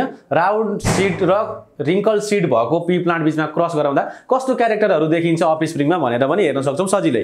अर्को के छ भने हाइब्रिड जुन प्रड्युस भएको हुन्छ नि जेनरली हाइब्रिड्सहरू फर्टाइल हुँदैन क्या? फर्टिलाइजेसन पोसिबल हुँदैन। तर यो पी प्लान्टको हाइब्रिडहरू चाहिँ कस्तो हुन्छ भने सेल्फ पोलिनेसन गरेर अर्को जेनेरेसन अर्को अफ स्प्रिङ पनि यिनीहरूले प्रड्युस गर्न सक्छन्। सो पी प्लान्ट लिँदा एकदमै बेटर हुन्छ एक्सपेरिमेन्टको लागि। अर्को के छ भने a large number of progeny भनेको offspring can be obtained भनेको एउटै पी प्लान्टबाट के हुन्छ नम्बर अफ अरू अफ स्प्रिङहरू प्रड्युस गर्न सकिन्छ। अनि धेरैवटा अफ स्प्रिङ भएपछि धेरैवटा क्यारेक्टरिस्टिक्सहरू के गर्न सकिन्छ हामी चेक गर्न सकिन्छ। अर्को के छ भने the life cycle of pea plant is short यसरी लाइफ साइकलको ड्युरेसन एकदमै सानो भइसकेपछि हामीले आफ्नो एक्सपेरिमेन्टको रिजल्ट पनि के? छिटो छिटो प्राप्त गर्छौँ। त्यही भएर हामी पी प्लान्ट लिन एकदमै प्रिफर गर्छौँ। अर्को के छ भने the plant is convenient to handle हाम्रो पी प्लान्ट भनेको कस्तो हुन्छ भने एकदमै यसलाई जस्तो किसिमको इन्भाइरोमेन्टमा पनि भनेको एउटा सुइटेबल इन्भाइरोमेन्ट त चाहिन्छ तर नर्मल इन्भाइरोमेन्टलाईमा पनि पी प्लान्टलाई ग्रो गराउन सकिन्छ। So it is very convenient to handle so pea plant is taken by Mendel है। मेन्डलले के लिएको थियो? पी प्लान्टको एक्सपेरिमेन्ट एक्सपेरिमेन्टको लागि पी प्लान्ट लिएको थियो। दिज आर सम रिजन्स मेन्डलले आफ्नो रिजल्ट हेरेर आफ्नो एक्सपेरिमेन्टको रिजल्ट हेरेर आफ तिनवटा ल दिएको छ है त? हाम्रो त्यसलाई के भन्छौँ? मेन्डल्स ल भन्छौँ अथवा मेन्डलिजम भन्छौँ। तिनवटा ल मध्ये फर्स्ट ल हाम्रो के छ भने ल अफ डोमिनेन्स उसले चाहिँ आफ्नो रिजल्टको सरी एक्सपेरिमेन्टको रिजल्ट हेरेर तयार गरेको लहरू हो है? हामी अघि एक्सप्लेन गरेको एक्सपेरिमेन्टको बेसिसमा उसले ल दिएको छ। त्यही बेसिसमा नै हामी यो लहरूलाई अन्डरस्ट्यान्ड गर्न सक्छौँ। अर्को के छ भने फर्स्टमा छ law of law of dominance यसलाई भन्छौँ हामी फर्स्ट ल अफ मेन्डल यसमा सामान्य कुरा छ हामी अघि एक्सप्लेन गरे जस्तो यदि हामीले कुनै पनि दुईवटा कन्ट्रास्टिङ क्यारेक्टर भएको कन्ट्रास्टिङ क्यारेक्टर भनेको एकदमै अलग क्यारेक्टर भएको के गर्यौँ भन्दाखेरि प्यारेन्ट्सहरूलाई क्रस गरायौँ। हाम्रो मेन्डलले के गराएको थियो? पी प्लान्टमा गराएको थियो। एउटा प्योर टल एउटा प्योर डोर्फ होइन त? अब यो दुईवटा बिचमा क्रस गराउँदाखेरि फर्स्ट जेनेरेसनमा है त? फर्स्ट जेनेरेसनमा सबै हाइब्रिड निस्क्यो। यसरी हाइब्रिड त निस्क्यो बट त्यो हाइब्रिड प्लान्टहरू कस्तो देखियो अग्लो देखियो क्या? तर जेनेटिकली त्यो के हुन्छ भने हाइब्रिड छ। तर फिनोटिपिकल्ली है? फिनोटिपिकल्ली चाहिँ के भइदियो भन्दाखेरि यिनीहरूको हाइट चाहिँ टलको प्योर टलको जस्तै देखियो।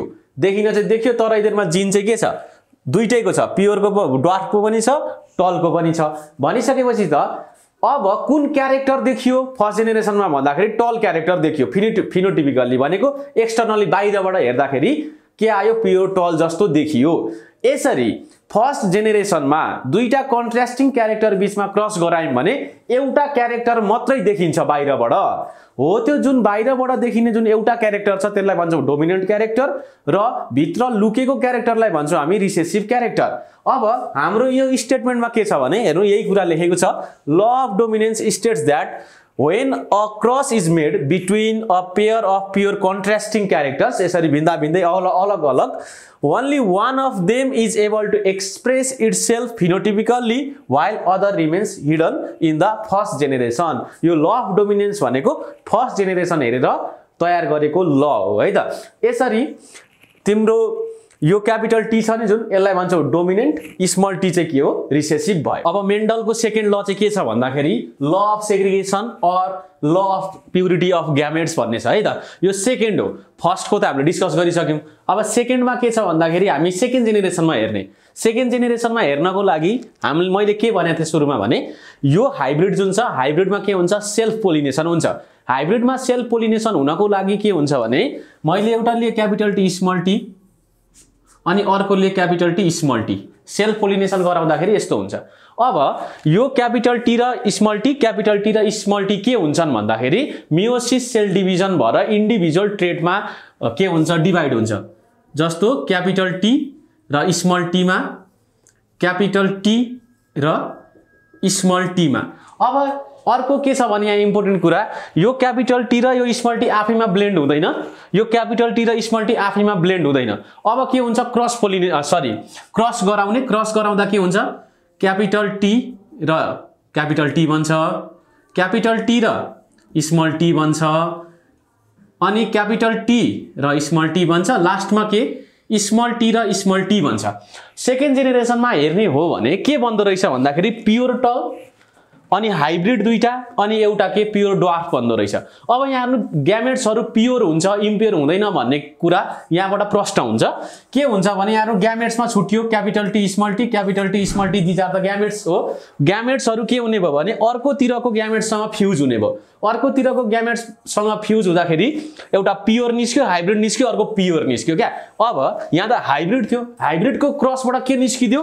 प्योर पनि निस्क्यो हाइब्रिड पनि निस्क्यो अर्को प्योर पनि निस्क्यो क्या? यसरी सेकेन्ड जेनेरेसनमा के हुँदैन भने आफै ब्लेन्ड हुँदैन ग्यामेट्सहरू है यो आफ्नो सेल्फ ग्यामेट्स हुन्छ नि क्यापिटल टी र स्मल टी यो दुइटा आफै ब्लेन्ड हुँदैन यो दुइटा आफै ब्लेन्ड हुँदैन। बट के हुन्छ डिफ्रेन्ट डिफ्रेन्टसँग चाहिँ ब्लेन्ड भइदिन्छ अनि अर्को जेनेरेसनमा अफ स्प्रिङहरू निस्किन्छ। अफ स्प्रिङहरू पनि सबै प्रकारको अफ स्प्रिङहरू निस्किन्छ।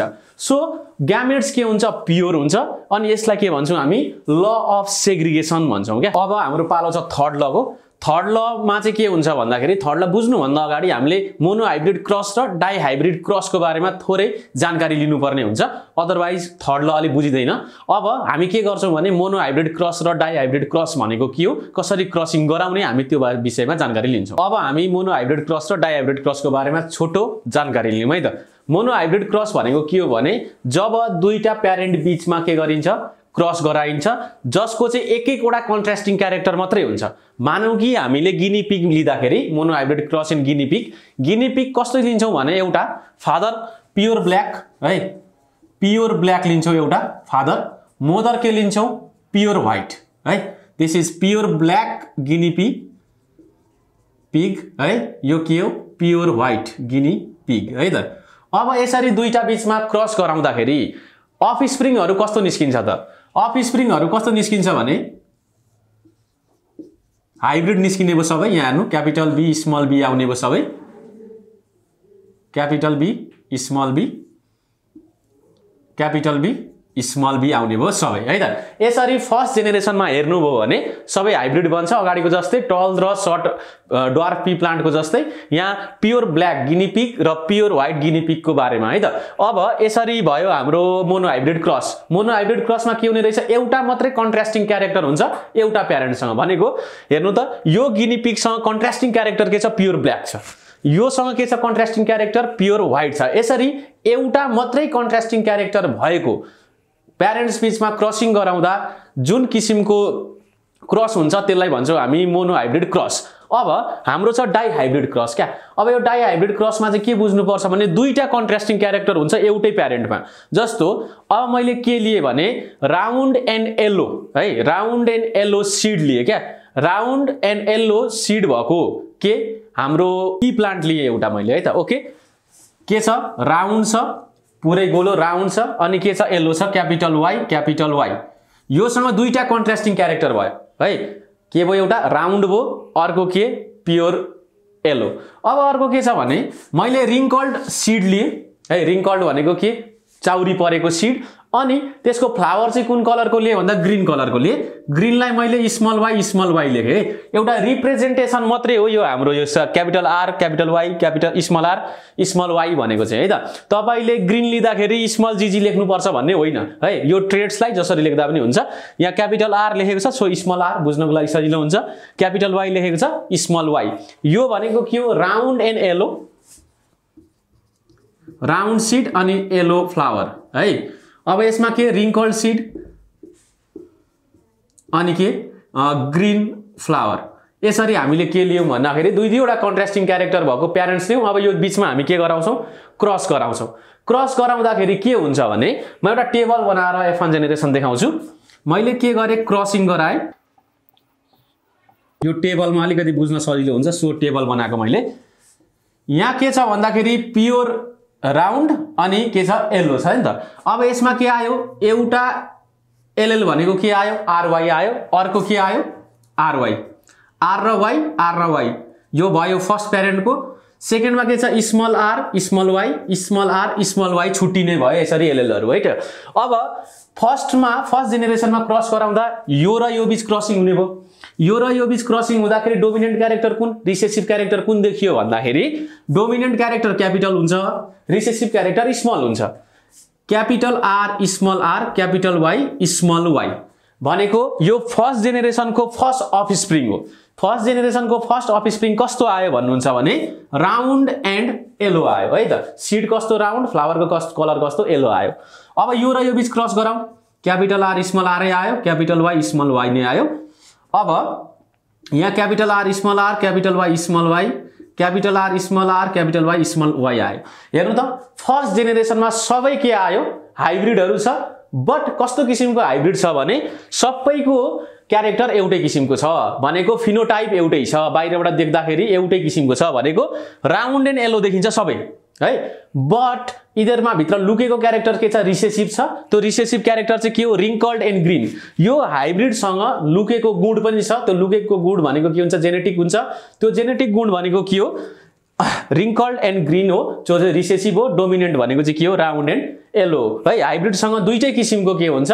जेनेटिक स्ट्रेट हुन्छ है त? अब अर्को हाम्रो इम्पोर्टेन्ट टपिक अफ डिस्कसन भनेको के छ भने जेनेटिक टेक्नोलोजी छ क्या? जेनेटिक टेक्नोलोजी भनेको अहिलेको हाइली एडभान्स टेक्नोलोजी हो। यो जेने जेनेटिक टेक्नोलोजी चाहिँ युज गरेर के गरिन्छ भने एउटा अर्ग्यानिजममा भएको डिएनए छ नि जुन डिएनएमा के हुन्छ? जिन्स हुन्छ हो?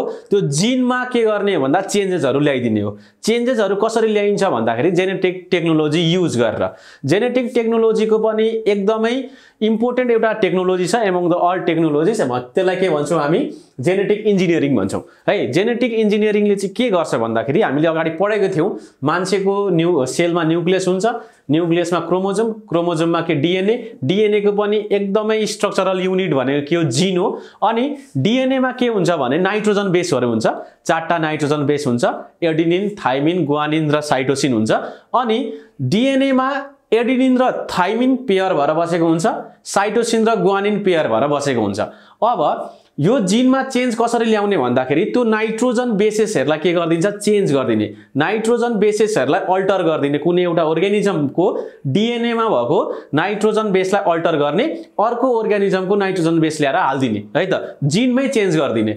जिनमा चेन्ज गरिदिइसकेपछि के हुन्छ भने अर्को जुन जेनेरेसन निस्किन्छ अर्को जुन ब्रिडिङ हुन्छ त्यो एकदमै डिफ्रेन्ट टाइपको के हुन्छ? ब्रिडिङ हुन्छ। डिफ्रेन्ट टाइपको अर्ग्यानिजम हुन्छ अथवा डिफ्रेन्ट क्यारेक्टर बोकेको अर्ग्यानिजम निस्किन सक्ने सम्भावना हुन्छ। यसरी जेनेटिक युज गरेर अहिले के गरिन्छ भने डिफ्रेन्ट डिफ्रेन्ट टाइपको अर्गानिजम्सहरू पनि क्रिएट गर्न सकिन्छ अनि अर्गानिजम्सहरूमा डिफ्रेन्ट क्यारेक्टरहरू आफै इनपुट गर्न पनि सकिन्छ। यो जेनेटिक टेक्नोलोजीको एडभान्टेज भयो। यसरी के हुने भयो भन्दाखेरि जिनमा चेन्जेस ल्याउँदाखेरि क्यारेक्टर नै चेन्ज भइदिने भयो क्या। अब तपाईँले के गर्न सक्नुहुन्छ भने यसको स्क्रिनसट लिएर जेनेटिक टेक्नोलोजी भनेको के हो? है कुन चाहिँ बेस्ट छ जेनेटिक टेक्नोलोजी मध्येको कुन बेस्ट हो? जेनेटिक इन्जिनियरिङ बेस्ट हो बेस्ट हो। अनि यसले चाहिँ के गर्छ त? In this process a new trait is develop एउटा नयाँ ट्रेड डेभलप गरिन्छ by changing a single nitrogen base pair adenine र थाइमिन है अनि गुवानिन र के? साइटोसिन यो दुईवटा पेयरमा बसेको हुन्छ। जहिले पनि एडिनिन र थाइमिन गुवानिन र साइटोसिन पेयर भएर बसेको हुन्छ डिएनएमा त्यसको एउटा कुनै पेयरलाई चेन्ज गरिदिने है कसरी चेन्ज गरिन्छ? डिलिट गर्ने त्यसलाई टोटल्ली निकालेर फ्यालिदिने है अर्को किसिमको क्यारेक्टर हुन्छ। अनि एड गर्ने कुनै एउटा अर्को नाइट्रोजन बेसको पेयर ल्याएर त्यहाँ एड गरिदिने कुनै अर्को अर्ग्यानिजमको के हुन्छ? अर्कै किसिमको क्यारेक्टर डेभलप हुन्छ अफ स्प्रिङमा अथवा डिलिटिङ अर एडिङ भन्ने एउटा फ्याल्ने कि थप्ने है? गरिन्छ के? हाम्रो यो पेयरलाई है त? अनि के बन्छ? एकदमै नयाँ के भन्छ ट्रेड बन्छ। त्यसको क्यारेक्टर पनि डिफ्रेन्ट हुन्छ। अब हामी डिएनए टेस्टको केही इम्पोर्टेन्सको बारेमा डिस्कस गर्छौँ। डिएनए टेस्टिङले चाहिँ अहिलेको मोडर्न जमानामा है यो मोडर्न सोसाइटीमा यो मोडर्न टेक्नोलोजीमा कस्तो कस्तो किसिमले हेल्प गर्छ त डिएनएको टेस्टले है त? किनकि डिएनए भनेको मान्छे पछि के हुन्छ? फरक फरक किसिमको हुन्छ। अनि डिएनए भनेको के हो भन्दाखेरि प्यारेन्ट्सबाट अफ स्प्रिङमा इनहेरिटेन्स भएर आएको हुन्छ है त? भनेको ट्रान्सफर भएर आएको हुन्छ भनेको प्यारेन्ट र पार्टिकुलर अफ स्प्रिङको डिएनए के हुन्छ? म्याच हुन्छ है त? म्याचिङ हुन्छ। अब अब यो डिएनए टेस्ट गर्दाखेरि चाहिँ के कस्तो कुरामा हेल्प हुन्छ त भन्ने कुरा हामी डिस्कस गर्छौँ। फर्स्टमा छ फोरेन्सिक्स फोरेन्सिक्स भनेको कस्तो भन्दाखेरि कुनै पनि क्रिमिनल एक्टिभिटी भयो। त्यो क्रिमिनल एक्टिभिटी भएको जुन ठाउँ हुन्छ त्यो ठाउँबाट चाहिँ स्याम्पल्सहरू उठाइन्छ। जस्तो त्यहाँ हेयर हुनसक्छ स्किन हुनसक्छ है ब्लड्सहरू हुनसक्छ। एभ्रिथिङ है अर्ग्यानिजममा के के कुरा हुन्छ? एउटा ह्युमन बडीमा अथवा ह्युमन बडी भनौँ अथवा अरू अर्ग्यानिजमको बडीमा पनि जे जे हुनसक्छ त्यो पार्टिकुलर घटना भएको ठाउँबाट उठाएर लगिन्छ। अनि के हुन्छ? ल्याबोरेटरी हुन्छ। त्यहाँ लगेर चाहिँ त्यो हेयर त्यो स्क्रिन स्किन त्यो ब्लडको के गरिन्छ? डिएनए टेस्ट गरिन्छ। अब डिएनए टेस्ट गरिसकेपछि जुन सस्पेक्ट हुन्छ यो चाहिँ क्रिमिनल हुनसक्छ है भन्ने व्यक्ति हुन्छ त्यसको पनि डिएनए टेस्ट गरिन्छ अनि सेभरल अरू सस्पेक्टहरूको पनि डिएनए टेस्ट गरिन्छ। हो यसरी डिएनए टेस्ट गर्दाखेरि डिएनए म्याच भयो है त? हामीले क्राइम भएको ठाउँबाट उठाएको स्याम्पल र हाम्रो सस्पेक्टको स्याम्पल के भयो? म्याच भयो भने त obviously at the time of that event है त्यो क्रिमिनल एक्टिभिटी भएको टाइममा त्यो मान्छे त्यहाँ उपस्थित थियो भन्ने कुरा पत्ता लाग्छ। हो यसो गर्दाखेरि पुलिसलाई इन्भेस्टिगेट गर्न पनि सजिलो हुन्छ। So it helps in investigating the the crime है त। अब अर्को छ प्याटर्निटी टेस्ट प्याटर्निटी टेस्ट भनेको चाहिँ के हो भने अब कोही बच्चा जन्मियो कोही बच्चा जन्मिसकेपछि त्यसको बा बुवाको आमाको भनेर पत्ता लगाउनु पर्ने भयो क्या? हो त्यस्तो किसिमको कन्डिसनमा हामी के गर्छौँ? टेस्ट गर्छौँ। अब अथवा हामी के गर्छौँ भने सम्भावित बुवा सम्भावित आमाको आमा त अब त्यत्तिकै पनि थाहा हुन्छ हुन चाहिँ तर प्राय जसो फादरको केसमा यो डिएनए टेस्ट गर्छन् होइन? प्याटर्निटी टेस्ट भनेको चाहिँ। अब सम्भावित हुन सक्ने फादरको डिएनए र त्यो अफ स्प्रिङ अथवा त्यो बेबीको डिएनए म्याच भयो भने के भयो? बाउ के भयो? त्यो भयो हो? यसो गर्दाखेरि प्याटर्निटी टेस्टमा पनि डिएनए टेस्ट गऱ्यो भने पत्ता लागिहाल्छ अहिले। अब अर्को के छ भने एन्सेस्ट्री ट्र्याकिङ भन्छौँ है। एन्सेस्ट्री ट्र्याकिङ भनेको के हो भने तपाईँको पुर्खा है तपाईँ कोबाट इभल्भ हुनुभएको है? तपाईँको पुर्खा कहाँ बसेका थिए पहिले? तपाईँको पुर्खाको ओरिजिन कहाँ हो? भनेर टेस्ट गर्न मन लाग्यो भने कुनै पार्टिकुलर ठाउँको व्यक्तिहरूको स्याम्पल र तपाईँको स्याम्पल डिएनएको स्याम्पल म्याच भयो भने यो origin was actually in that place है त? अब तपाईँको ओरिजिन त्यहाँ भएको तपाईँको एन्सेस्टर को हो भन्ने कुरा पनि पत्ता लाग्ने भयो डिएनए टेस्टिङबाट अर्को छ मेडिकल टेस्ट मेडिकल टेस्टमा पनि डिफ्रेन्ट टेस्टहरू गर्नको लागि हाम्रो के युज हुन्छ? डिएनए टेस्टिङबाट सम्भव हुन्छ। डायग्नोसिस गर्नु पर्यो भने है के मेडिकल टेस्टमा हाम्रो काम दिने भयो। मेडिकल टेस्टमा के हुन्छ भने कुनै कुनै रोगहरू चाहिँ जेनेटिकल्ली ट्रान्सफर हुँदै हुँदै आएको हुन्छ। बाउदेखि हजुरबादेखि लिएर नाति नातिनासम्म के हुन्छ भने ट्रान्सफर हुँदै हुँदै हुँदै आएको हुन्छ क्या? हो त्यस्तो किसिमको डिजिज कुनै पनि व्यक्तिमा छ कि छैन है त? भनेर डिएनए टेस्ट गर्यो भने त्यो डिजिज त्यो डिएनएमा प्रेजेन्ट छ कि छैन त्यो जिनमा प्रेजेन्ट छ कि छैन भनेर थाहा हुन्छ क्या? भनेको जेनेटिक त्यो रोग छ डिजिज जुन त्यो चाहिँ कुन अफ स्प्रिङमा छ कसले बोकिरहेको छ कसको जिनमा छ कसको डिएनएमा छ भनेर पनि पत्ता लाग्ने भयो। अर्को छ जेनेटिक इन्जिनियरिङ जेनेटिक इन्जिनियरिङ अघि भर्खर हामीले डिस्कस गरेको कुनै पनि अर्ग्यानिजम नयाँ तयार गर्नु पर्यो डिफ्रेन्ट क्यारेक्टर भएको है? त्यसमा के गरिन्छ? डिएनएको जिनमा अथवा डिएनएको तपाईँको नाइट्रोजन बेसमा के ल्याएर चेन्ज ल्याएर नाइट्रोजन बेसलाई डिलिट गरेर अथवा अर्को नाइट्रोजन बेस एड गरेर हामी जेनेटिक इन्जिनियरिङ गर्छौँ। टोटल्ली नयाँ क्यारेक्टर भएको के निकाल्छौँ? अर्ग्यानिजम अथवा अफ स्प्रिङ निकाल्छौँ। त्यसमा हेल्प गर्ने भयो डिएनएले अर्को के छ? भ्याक्सिन्स भ्याक्सिन्सहरू तयार गर्नुपर्ने भयो। कुनै पनि पार्टिकुलर डिजिजको है त? पार्टिकुलर डिजिजको तपाईँले भ्याक्सिन पत्ता लगाउनु पर्ने भनेको जेनेटिकल्ली त्यो रोग सरेर आएको रहेछ भने त नर्मल भ्याक्सिनले काम गर्दैन। तपाईँको जिन तपाईँको डिएनए अनुसारको भ्याक्सिन्स बनाउनु पर्यो। तपाईँको जिन अनुसारको मेडिसिनहरू तयार गर्नुपर्ने भयो भनेपछि त्यो भ्याक्सिन्सहरू क्रिएट गर्नको लागि पनि डिएनए टेस्टको रोल हुन्छ। अर्को छ हर्मोन्स क्रिएट गर्न है त? हर्मोन के हुन्छ? ग्रोथको लागि ग्रोथ एन्ड डेभलपमेन्टको लागि हर्मोनको त एकदमै ठुलो भूमिका हुन्छ बडीमा। हो। अब तपाईँको पार्टिकुलर डिएनएको लागि कस्तो किसिमको हर्मोन तयार गर्न सकिन्छ त है त? कस्तो किसिमको हर्मोनले चाहिँ तपाईँलाई काम गर्छ? तपाईँको ग्रोथ गराउन तपाईँको डेभलपमेन्टको लागि है? के तयार गर्न सकिन्छ भने हर्मोन्स तयार गर्न सकिन्छ अनि तपाईँको शरीरमा इन्जेक्ट गर्न सकिन्छ according to your DNA particular DNA मान्छे पछि फरक फरक किसिमको डिएनए हुन्छ हर्मोन्सहरू पनि त्यो डिएनएलाई म्याच गर्ने किसिमको तयार गर्नुपर्ने हुन्छ। सो हाम्रो हर्मोन क्रिएट गरेर मान्छेको ग्रोथ एन्ड डेभलपमेन्टमा हेल्प गर्नको लागि यो डिएनए टेस्टको एकदमै ठुलो भूमिका हुन्छ। अब हाम्रो अर्को important topic topic of discussion छ सेलेक्टिभ ब्रिडिङ है त? सेलेक्टिभ ब्रिडिङ भनेको के भन्नुहुन्छ भने आफ्नो इच्छाअनुसार ह्युमनले चाहिँ है ल्याबमा होस् अथवा एक्सपेरिमेन्ट गरेर होस् भिन्दा भिन्दै अर्ग्यानिजमहरू लिएर होस् भिन्दा भिन्दै एनिमल लिएर होस् अथवा एउटै खालको एनिमल्समा होस् ब्रिडिङ गराएर आफ्नो डिजायर अनुसारको क्यारेक्टरहरू हुने खालको एनिमल्सहरूको प्रोडक्ट प्रोडक्सन हो सेलेक्टिभ ब्रिडिङ भनेको। यसलाई आर्टिफिसियल सेलेक्सन पनि भनिन्छ है त? सेलेक्टिभ ब्रिडिङलाई हामी आर्टिफिसियल सेलेक्सन पनि भन्छौँ। अब यसरी हामी के गर्न सक्छौँ भने नयाँ खालको नयाँ क्यारेक्टर भएको आफ्नो डिजायर अनुसारको क्यारेक्टर भएको नयाँ एनिमलहरू हामी प्रड्युस गर्न सक्छौँ with the help of selective breeding यो सेलेक्टिभ ब्रिडिङमा दुई किसिमको हुन्छ एउटा इनब्रिडिङ भन्ने अनि अर्को आउट ब्रिडिङ ब्रिडिङ भन्ने हुन्छ। इनब्रिडिङ भनेको चाहिँ कस्तो भने एउटै टाइप्सको एनिमल अथवा डग र डग एउटा मेल एउटा फिमेल लिने है त? अब एउटा क्यारेक्टर भएको डग अनि अर्को क्यारेक्टर भएको अर्को डग एउटा मेल अर्को फिमेल लिने त्यो दुईवटा बिचमा के गराउने ब्रिडिङ गराउने। त्यो दुईवटामा ब्रिडिङ गराउँदाखेरि अर्को आफ्नो डिजायर अनुसारको आफ्नो इच्छा अनुसारको अर्को किसिमको अफ स्प्रिङ निस्किन्छ अर्को अर्को किसिमको क्यारेक्टर भएको के निस्किन्छ डग निस्किन्छ। त्यसलाई भन्छौँ हामी इनब्रिडिङ अब चाहिँ आउट ब्रिडिङ आउट ब्रिडिङ भनेको चाहिँ के? भिन्दा भिन्दै एनिमल्स एउटा मेल एउटा फिमेल लिने अनि दुईवटा बिचमा के गर्ने? ब्रिडिङ गराउने। दुईवटा बिचमा ब्रिडिङ गराएर अर्को टोटल्ली नयाँ किसिमको के निस्किन्छ? एनिमल प्रोड्युस हुन्छ। भनेको जस्तो हामी हर्स र डङ्कीको के गर्न सक्छौँ? क्रस गराउन सक्छौँ नि त। त्यो भनेको के हो? आउट ब्रिडिङ हो है त? अब हर्स र डङ्कीलाई तपाईँले के गर्नुभयो? ब्रिडिङ गराउनु भयो भने नयाँ एनिमल निस्किन्छ हो। हो त्यो नयाँ एनिमल निकाल्ने प्रोसेस कुन हो? आउट ब्रिडिङ हो। हर्स र डङ्कीको यसरी क्रस गराउँदा के निस्किन्छ म्युल निस्किन्छ द्याट इज खच्चर पनि भन्छौँ नि हामी है। खच्चर भनेको के आउट ब्रिडिङ फ्रम के? हर्स डङ्की हो नि त। अब जस्तै इनब्रिडिङको केसमा चाहिँ एउटा के हामी डग्सहरू हेर्नु त तपाईँहरू डग्स हन्ड्रेड्स अफ टाइप्सको डग्स देख्नुहुन्छ है त। डग्सहरूको नामहरू त अहिले के हो के हो कति हो कति छ त्यो सबै इनब्रिडिङ गराएको हो क्या। झन् एउटा टाइपको डग लिने एउटा मेल अर्को टाइपको डग लिने अर्को फिमेल दुईवटा बिचमा क्रस ब्रिडिङ गराइदिने है त। अनि त्यसलाई भन्छौँ हामी इनब्रिडिङ भन्छौँ है त। क्रस ब्रिडिङ सरी इनब्रिडिङ भन्छौँ है त। गराउने अर्को किसिमको डग निस्किन्छ हो। यसरी हामीले त डगमा चाहिँ हामी अगाडि ह्युमन्सहरूले फोर्टिन थाउजन्ड इयर्सदेखि नै हामीले प्र्याक्टिस गरिरहेको हो।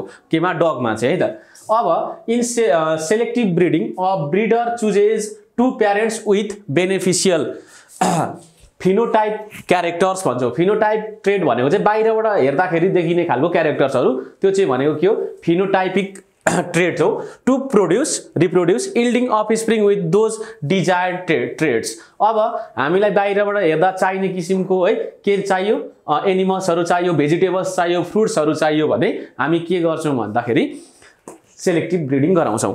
अर्को के छ भने selective breeding can be use to produce tastier fruits and vegetables and the crops with greater resistance to pest है त? अब हामीले अझै पेस्टसँग लड्न सक्ने किसिमको के बनाउनु पऱ्यो भेजिटेबल्सहरू क्रप्सहरू बनाउनु पऱ्यो है त? गर्दाखेरि हामी सेलेक्टिभ ब्रिडिङ गर्न सक्छौँ। मिठो मिठो खालको फ्रुट्सहरू डेभलप गर्नु पऱ्यो प्रड्युस गर्नु पऱ्यो भने सेलेक्टिभ ब्रिडिङ गराउने है त? अब अर्को कुरा के छ भने one of the earliest example of selective breeding is domestic dog domestic dog हो डोमेस्टिक डग डग चाहिँ हाम्रो साइन्टिस्टहरूले के विश्वास गर्छन् भन्दाखेरि वाइल्ड ग्रे उल्फ छ नि? वाइट सरी वाइल्ड ग्रे उल्फबाट इभल्भ भएको भन्ने मानिन्छ डोमेस्टिक डग्सहरू अब डोमेस्टिक डगमा चाहिँ हामी ह्युमन्सहरूले चाहिँ चौध हजार वर्ष पहिलेदेखि नै हामी प्र्याक्टिस गरिरहेछौँ यो कुरा चाहिँ भिन्दा भिन्दै किसिमको डग्सहरू प्रड्युस गर्ने है त्यसलाई भन्छौँ सेलेक्टिभ ब्रिडिङ अहिले त हामी सबैलाई थाहा छ धेरै किसिमको डग्सहरू बजारमा पाइन्छ होइन किन्न पनि पाइन्छ। त्यो सबै के गराएको? सेलेक्टिभ ब्रिडिङ गराएको। अब हामी के छ भने सेलेक्टिभ ब्रिडिङ गर्ने हाम्रो के छ? मेथड्सहरू छ है त। एउटा छ इनब्रिडिङ एउटा छ आउट ब्रिडिङ अब त्यसमा पनि मेथड्सहरू इन्क्लुड भएको छ जहाँ चारवटा मेथड्सहरू हामीले इन्क्लुड गरेको छ। सुरुमा छ इनब्रिडिङ है अर्को यो लाइन ब्रिडिङ पनि भन्ने छ। यो चाहिँ इनब्रिडिङकै एउटा पार्ट हो। बट यो इनब्रिडिङ भनेको चाहिँ के हो भन्दाखेरि क्लोजली रिलेटेड है क्लोजली रिलेटेड एउटै खालको अर्ग्यानिजम एउटै खालको एनिमल बिचमा जुन क्रस गराइन्छ त्यसलाई भन्छौँ हामी इनब्रिडिङ यसमा चाहिँ के पर्छ भन्दाखेरि क्लोजली रिलेटेड भनेको कस्तो? ब्रोदर सिस्टर है? अनि हाफ ब्रोदर सिस्टर पनि भन्छ होइन? हाफ सिस्टर ब्रोदर पनि भन्छ। यस्तो किसिम एकदमै नजिकैको दा के अरे ब्रोदर सिस्टर अनि हाफ ब्रोदर सिस्टर हुन्छ नि यस्तो मेल र फिमेल भनेको एकदमै क्लोजली रिलेटेड मेल र फिमेलको बिचमा मेट गराएर चाहिँ जुन क्रस निकालिन्छ जुन प्रोडक्ट निकालिन्छ त्यसलाई भन्छौँ हामी इन प्योर ब्रेड अथवा इन ब्रेड भन्छौँ है त? अब यिनीहरूको चाहिँ के हुन्छ भने they are gene genetically alike तिनीहरूको जिन चाहिँ के हुन्छ? एउटै किसिमको हुन्छ अनि एउटै किसिमको प्योर ब्रेड निस्किँदै जान्छ यो किसिमको ब्रिडिङमा चाहिँ। अर्को छ लाइन ब्रिडिङ भन्ने यो पनि टाइप अफ इन ब्रिडिङ नै हो बट यसमा चाहिँ क्लोजली रिले रिलेटेड होइन कि अब अलिकति डिस्टिङक्टली रिलेटेड है त? डिस्टिङली रिलेटेड हामी के लिन्छौँ? भन्दाखेरि प्यारेन्ट्सहरू लिन्छौँ एउटा मेल एउटा फिमेल लिन्छौँ टु प्रोड्युस अफ स्प्रिङ अब डिस्टेन्ट रिलेटिभ्समा चाहिँ के पर्छ भन्दाखेरि कजिन्सहरू है त? कजिन्सहरूको क्रस गरायो भने चाहिँ के हुन्छ भने हाम्रो प्योर ब्रेड हुने सम्भावना के हुन्छ? कम्ती हुन्छ भनेको यसले चाहिँ के रिड्युस गर्छ भने कुन रिक्सलाई रिड्युस गर्छ भने प्योर ब्रेड निस्किने रिक्सलाई कम्ती गर्छ। अनि it also reduces the ill health भन्छौँ है त? इल हेल्थ भनेको चाहिँ कस्तो भन्दाखेरि नयाँ जन्मेको अफ स्प्रिङमा चाहिँ बिरामी पर्ने जेनेटिकली विक हुने किसिमको सम्भावना हुँदैन। कुनमा चाहिँ लाइन ब्रिडिङमा। सो ब्रिडिङ गराउँदाखेरि चाहिँ लाइन ब्रिडिङ गराउँदाको राम्रो भनेको क्लोजली रिलेटेडलाई चाहिँ होइन अलिकति डिस्टेन्टली रिलेटेड प्यारेन्ट्सहरूलाई चाहिँ मेड गराएर अफस्प्रिङ प्रड्युस गरेको अलिक राम्रो मानिन्छ है त? अर्को छ क्रस ब्रिडिङ भन्ने। क्रस ब्रिडिङ भनेको चाहिँ एकदमै दुईवटा डिफ्रेन्ट स्पेसिस नै डिफ्रेन्ट है त? स्पेसिस नै डिफ्रेन्ट लिने दुईवटा एनिमल लिने त्यो दुईवटा एनिमल बिचमा मेड गराउने अनि त्यसपछि अफ स्प्रिङ निस्किन्छ। अब अफ स्प्रिङ भनेको चाहिँ कस्तो हुनु बनाउन सकिन्छ भने आउट ब्रिडिङ गराएर चाहिँ आफ्नो डिजायर अनुसारको आफूलाई मनचाहे अनुसारको क्यारेक्टरिस्टिक भएको अर्ग्यानिजमहरू एनिमल्सहरू हामी प्रड्युस गर्न सक्छौँ। अर्को छ सेल्फ पोलिनेसन सेल्फ पोलिनेसन भनेको चाहिँ हाम्रो प्लान्ट्समा हुन्छ। प्लान्ट्समा चाहिँ के हुन्छ भने म्याक्सिमम प्लान्ट्स है। म्याक्सिमम प्लान्टमा चाहिँ एउटै प्लान्टमा के हुन्छ? मेल रिप्रोडक्टिभ अर्ग्यान र फिमेल रिप्रोडक्टिभ अर्ग्यान हुन्छ. मेल रिप्रोडक्टिभ अर्ग्यान र फिमेल रिप्रोडक्टिभ अर्ग्यान एउटै प्लान्टमा भइसकेपछि सेल्फ पोलिनेसन हुन्छ. सेल्फ पोलिनेसन भइसकेपछि के हुन्छ त भन्दाखेरि it helps to produce genetically identical plants genetically identical प्लान्ट्सको प्रोडक्सनमा चाहिँ यसले हेल्प गर्छ सेल्फ पोलिनेसनले अब के छ भने हाम्रो some organisms produce from cross breeding cross ब्रिडिङबाट कस कुन कुन किसिमको कसरी हामी अर्ग्यानिजम्सहरू डेभलप गर्न सक्छौँ है एनिमल्स प्लान्टहरू डेभलप गर्न सक्छौँ भनेर हामी डिस्कस गर्छौँ। हियर आर सम इक्जाम्पल्स है। लाइगर छ। लाइगर भनेको के? मेल लायन र फिमेल टाइगरको क्रसिङबाट निस्किएको जुन अर्को एनिमल हुन्छ त्यसलाई भन्छौँ लाइगर अर्को के छ? टाइगन टाइगन भनेको मेल टाइगर फिमेल के? लायनबाट प्रड्युस भएको के? एनिमल हो टाइगन अर्को के छ? बिफेल्लो बिफेल्लो भनेको बफेल्लो र बुलको क्रसबाट जन्मिएको। अर्को जिब्रोइड जिब्रोइड भनेको जिब्रा र हर्सको क्रसबाट अर्को छ म्युल म्युल भनेको डङ्की र हर्सको क्रसबाट पोम्याटो भनेको पोट्याटो र टोम्याटोको के गरेर? क्रसिङ गराएर प्रड्युस भएको प्लान्ट हो। यसमा चाहिँ के हुन्छ भने पोटेटो के हुन्छ? अन्डरग्राउन्ड फल्छ। टोमेटो भनेको के हुन्छ? स्टिममा फल्छ है त? दुइटै एउटै प्लान्टमा दुइटै भेजिटेबलहरू हामी ग्रो गराउन सक्छौँ। टोमेटो पनि पोट्याटो पनि। अब हामी डिस्कस गरौँ एडभान्टेजेस र डिसएडभान्टेजेस अफ क्रस ब्रिडिङ है त? अब एडभान्टेजेस हेर्दा चाहिँ के देखिन्छ भन्दाखेरि this methods combines the variable qualities of the two organisms from different breeds varieties and the species पनि भन्दा भयो यसमा है? अब अर्को के छ भने human beings can produce organism with desire character यो हामीले अगाडि पनि भनिरहेको कुरा हो है। क्रस ब्रिडिङ गरेर के जन के प्रड्युस गर्न सकिन्छ? हामीले डिजायर क्वालिटी भएको एनिमल्सहरू प्रड्युस गर्न सकिन्छ। Cross breeding provides the opportunity to make full use of wide range of genetic materials अब वाइड रेन्ज अफ जेनेटिक मेटेरियल्सहरू चाहिँ एक्सपेरिमेन्टको क्रममा युज गर्नलाई क्रस ब्रिडिङले के गर्छ? अलाउ गर्छ है त। अर्को नम्बरमा के छ भने animals that exhibit better quality than the parent animal can be developed parent भन्दा पनि अफ स्प्रिङमा चाहिँ बेटर क्वालिटीहरू ल्याउन सकिन्छ। अर्को के छ भने immunity strength as vigour etcetera of an organism can be improved by this method हामी अब के गर्न सक्छौँ भने रोगबाट लड्न सक्ने क्षमता बढी भएको है? स्ट्रेन्थ बढी भएको रोग कम्ती लाग्ने अथवा रोग नलाग्ने किसिमका है एनिमल्सहरू होइन जेनेटिकल्ली इनहेरिटेन्स भएर आएको हुन्छ नि रोगहरू डिजिजेसहरू त्यो नभएको एनिमल्सहरू हामी प्रड्युस गर्न सक्छौँ। अर्को के छ भने crop production can be enhanced crop production हामी एग्रिकल्चरको मामिलामा के भन्न सक्छौँ भने हामीले प्रोडक्सन बढाउन सक्छौँ एग्रिकल्चरमा अब डिसएडभान्टेजेसहरू पनि छ। एडभान्टेज मात्रै होइन डिसएडभान्टेजेस पनि छ क्रस ब्रिडिङको क्रस ब्रिडिङको डिसएडभान्टेज के हो भन्दाखेरि इन फ्युचर है पोलिसी मेकिङ राम्रो भएन क्रस ब्रिडिङको मामिलामा भने यसले धेरै नकारात्मक असरहरू ल्याउन सक्छ। किनकि क्रस ब्रिडिङ गराएर हामी एकदमै डिजायरेबल होइन खतरा खतरा क्यारेक्टरिस्टिक भएको एनिमलहरू है जुन चाहिँ हाम्रो लागि होइन यो इन्भाइरोमेन्टको लागि डेन्जरस छ त्यस्तो किसिमको एनिमल्सहरू पनि प्रड्युस गर्न चाहिँ सकिन्छ। सो यो एउटा डेन्जर छ। अर्को के छ भने द प्राइस अफ प्रोडक्ट्स जुन चाहिँ हाम्रो क्रस ब्रिडिङबाट प्रड्युस गरेको हाम्रो प्रोडक्टहरू छ होइन भेजिटेबल्सहरू छ एनिमल्सहरू छ उनीहरूको चाहिँ एकदमै के हुन्छ लो प्राइस हुन्छ। As compare to the pure bred animals है? प्योर ब्रेड एनिमल्सको कम्पेरिजनमा चाहिँ एनिमल्स अथवा प्लान्ट्स अथवा भेजिटेबल्सको कम्पेरिजनमा तपाईँको क्रस ब्रिडिङ गराएर निकालेको प्राइस एकदमै लोवर हुन्छ। सो कसलाई घाटा लाग्छ भन्दाखेरि यो प्रड्युस गर्ने फार्मर्सहरूलाई के हुन्छ? घाटा लाग्छ। हो यो पनि अर्को डिसेन्टर डिसएडभान्टेजेस भयो। अब अर्को के गरिदिएको छ भने यो जुन क्रस ब्रिडिङ गराएर निकालेको एनिमल्स प्लान्ट्सहरू हुन्छ नि यिनीहरूको सेलमा चाहिँ लिमिटेसन लगाइदिएको छ। लिमिटेसन किन लगाएको छ भन्दाखेरि एउटा नेचरमा ब्रिड गराएको अर्को नेचरमा एडप्ट गर्न नसक्ला। अथवा त्यो एनिमल्स जुन छ त्यसले अब फेरि अर्को प्रोडक्सन गरिदियो भने भनेको त सेक्सुअल रिप्रोडक्सन त पोसिबल हुन्छ धेरै जसोमा सेक्सुअल रिप्रोडक्सन पोसिबल भयो भने त फेरि जेनेटिक के हुन्छ? इम्प्रुभमेन्ट हुन्छ अथवा जेनेटिकल्ली चेन्जेसहरू आउँछ अर्को अफ स्प्रिङमा जेनेटिकल्ली चेन्जेसहरू आयो भने मोर डेन्जरस एनिमल पनि प्रड्युस हुनसक्छ अथवा त्यहाँको पार्टिकुलर इन्भाइरोमेन्टलाई त्यसले हार्म गर्न सक्छ। है यो अर्को डिसएडभान्टेजेस हो। अब अर्को डिसएडभान्टेज के छ भने is the external and genetic characteristic of hybrid go on changing तपाईँले क्रस ब्रिडिङ गराउँदै गराउँदै जानुभयो भने प्यारेन्टको क्यारेक्टर र अफ स्प्रिङको क्यारेक्टर टोटल्ली डिफ्रेन्ट पाउनुहुन्छ। यस्तो हुँदाखेरि तपाईँको प्योर ब्रेड हुन्छ नि प्योर ब्रेड एनिमल्सहरू चाहिँ एक्सटिङ्ट हुने लोप हुँदै हराउँदै जाने सम्भावना बढ्छ। अर्को के छ भने in this breeding natural traits of the parent are not completely transfer to the offspring अथवा प्रोजेनी पनि भन्छौँ अफ स्प्रिङलाई तपाईँको ट्रेड हुन्छ जुन क्रोमोजोम्सहरू हुन्छ त्यो चाहिँ जिन्सहरू हुन्छ त्यो कम्प्लिटली ट्रान्सफर हुँदैन in case of cross breeding so lack हुन्छ अफ स्प्रिङमा प्यारेन्टको ट्रेड के हो? ल्याक भयो। त्यसो भएपछि hence such traits may disappear gradually भविष्यमा त्यो ट्रेड नै हराएर जान सम्भावना बढेर जान्छ। अब अर्को छ हाम्रो क्रस ब्रिडिङ पछाडिपट्टि अर्को हाम्रो सिलेबसमा इन्क्लुड गरेको छ आर्टिफिसियल इन्सेमिनेसन भन्ने एआई पनि भन्छौँ यसलाई। आर्टिफिसियल इन्सेमिनेसन भनेको चाहिँ के भन्नुहुन्छ भने जस्तो एनिमल्सहरूमा है त। तपाईँको highly advance breed of male मेलको मेलको हाइली एडभान्स ब्रिड भनेको एकदमै क्वालिटी भएको एकदमै दह्रो स्ट्रेन्थ भएको मेलबाट चाहिँ के निकालिन्छ? सिमेन्ट निकालिन्छ है त? सिमेन्ट अथवा स्पम पनि भनेर बुझ्नु। सिमेन्ट निकालिन्छ with the use of highly advance equipment highly advance इक्विपमेन्टको use गरेर सिमेन्ट कलेक्ट गरिन्छ सुरुमा। त्यो सिमेन्ट कलेक्ट गरिसकेपछि अथवा स्पम कलेक्ट गरिसकेपछि चाहिँ हामी के गर्छौँ भने फिमेलको है त? फिमेलको रिप्रोडक्टिभ ट्र्याकमा लगेर हालिदिन्छौँ है त? अब फिमेलको रिप्रोडक्टिभ ट्र्याकमा लगेर हालिदिइसकेपछि त्यसले के गर्छ भने राइट टाइममा राइट टाइममा हाल्नुपर्छ। राइट टाइममा हालिसकेपछि त्यो स्पमले के गर्छ? एगलाई ओभरीबाट के प्रड्युस हुन्छ? एग प्रड्युस हुन्छ।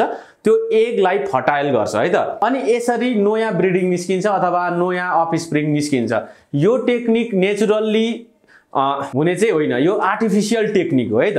आर्टिफिसियल टेक्निक हो। हामीलाई यो टेक्निक युज गऱ्यौँ भने आर्टिफिसियल इन्सेमिनेसन युज गऱ्यो भने नेचुरल्ली हुने जुन सेक्सबाट जन्मिने बच्चा हुन्छ त्यो भन् त्यो जस्तै हुन्छ है? नर्मलै हुन्छ जुन अफस्प्रिङ प्रोड्युस हुन्छ।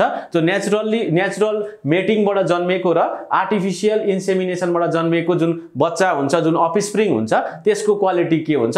एउटै हुन्छ भनेको नर्मल नै जन्मिने हो एनिमल्सहरू अथवा अफस्प्रिङहरू यो फर्स्ट साइन्टिफिक रिसर्च चाहिँ कहिले भएको थियो भन्दा सेभेन्टिन एट्टी फोरमा भएको थियो डगमा गराएको थियो। इटालियन साइन्टिस्टले लेजारो स्पेलेन ज्यानी भन्ने है यो इटालियन साइन्टिस्ट है Italian साइन्टिस्टले in nine in sorry seventeen eighty फोरमै यो साइन्टिफिक रिसर्च गरेको थियो। अहिले चाहिँ यो एआई प्राय जसो सबै डोमेस्टिक एनिमल्सहरूमा के गरिन्छ एक्सपेरिमेन्ट एक्सपेरिमेन्ट भन्दा पनि प्रयोग नै गरिन्छ।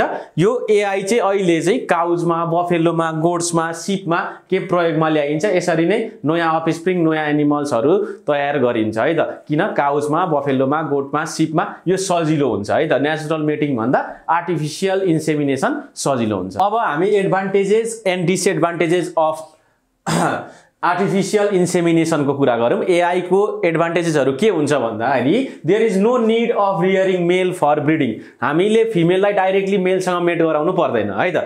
हामीले के गर्ने सिमेन्ट कलेक्ट गर्ने हो। सिमेन्ट कलेक्ट गरिसकेपछि के गर्ने भन्दाखेरि फिमेलको रिप्रोडक्टिभ ट्र्याकमा लगेर त्यसलाई हालिदिने इन्सर्ट गरिदिने हो।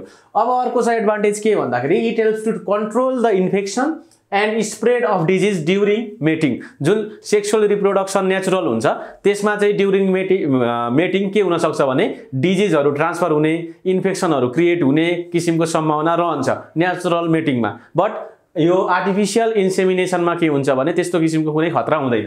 अर्को के छ भने after collecting semen from males it is tested and fertility is check to ensure the fertility of the male यसो गर्दाखेरि के पनि हुने भन्दाखेरि मेल कतिको फर्टाइल छ है प्रिप्रोडक्सनको लागि एबल छ कि छैन भन्ने कुरा पनि पत्ता लाग्ने भयो है।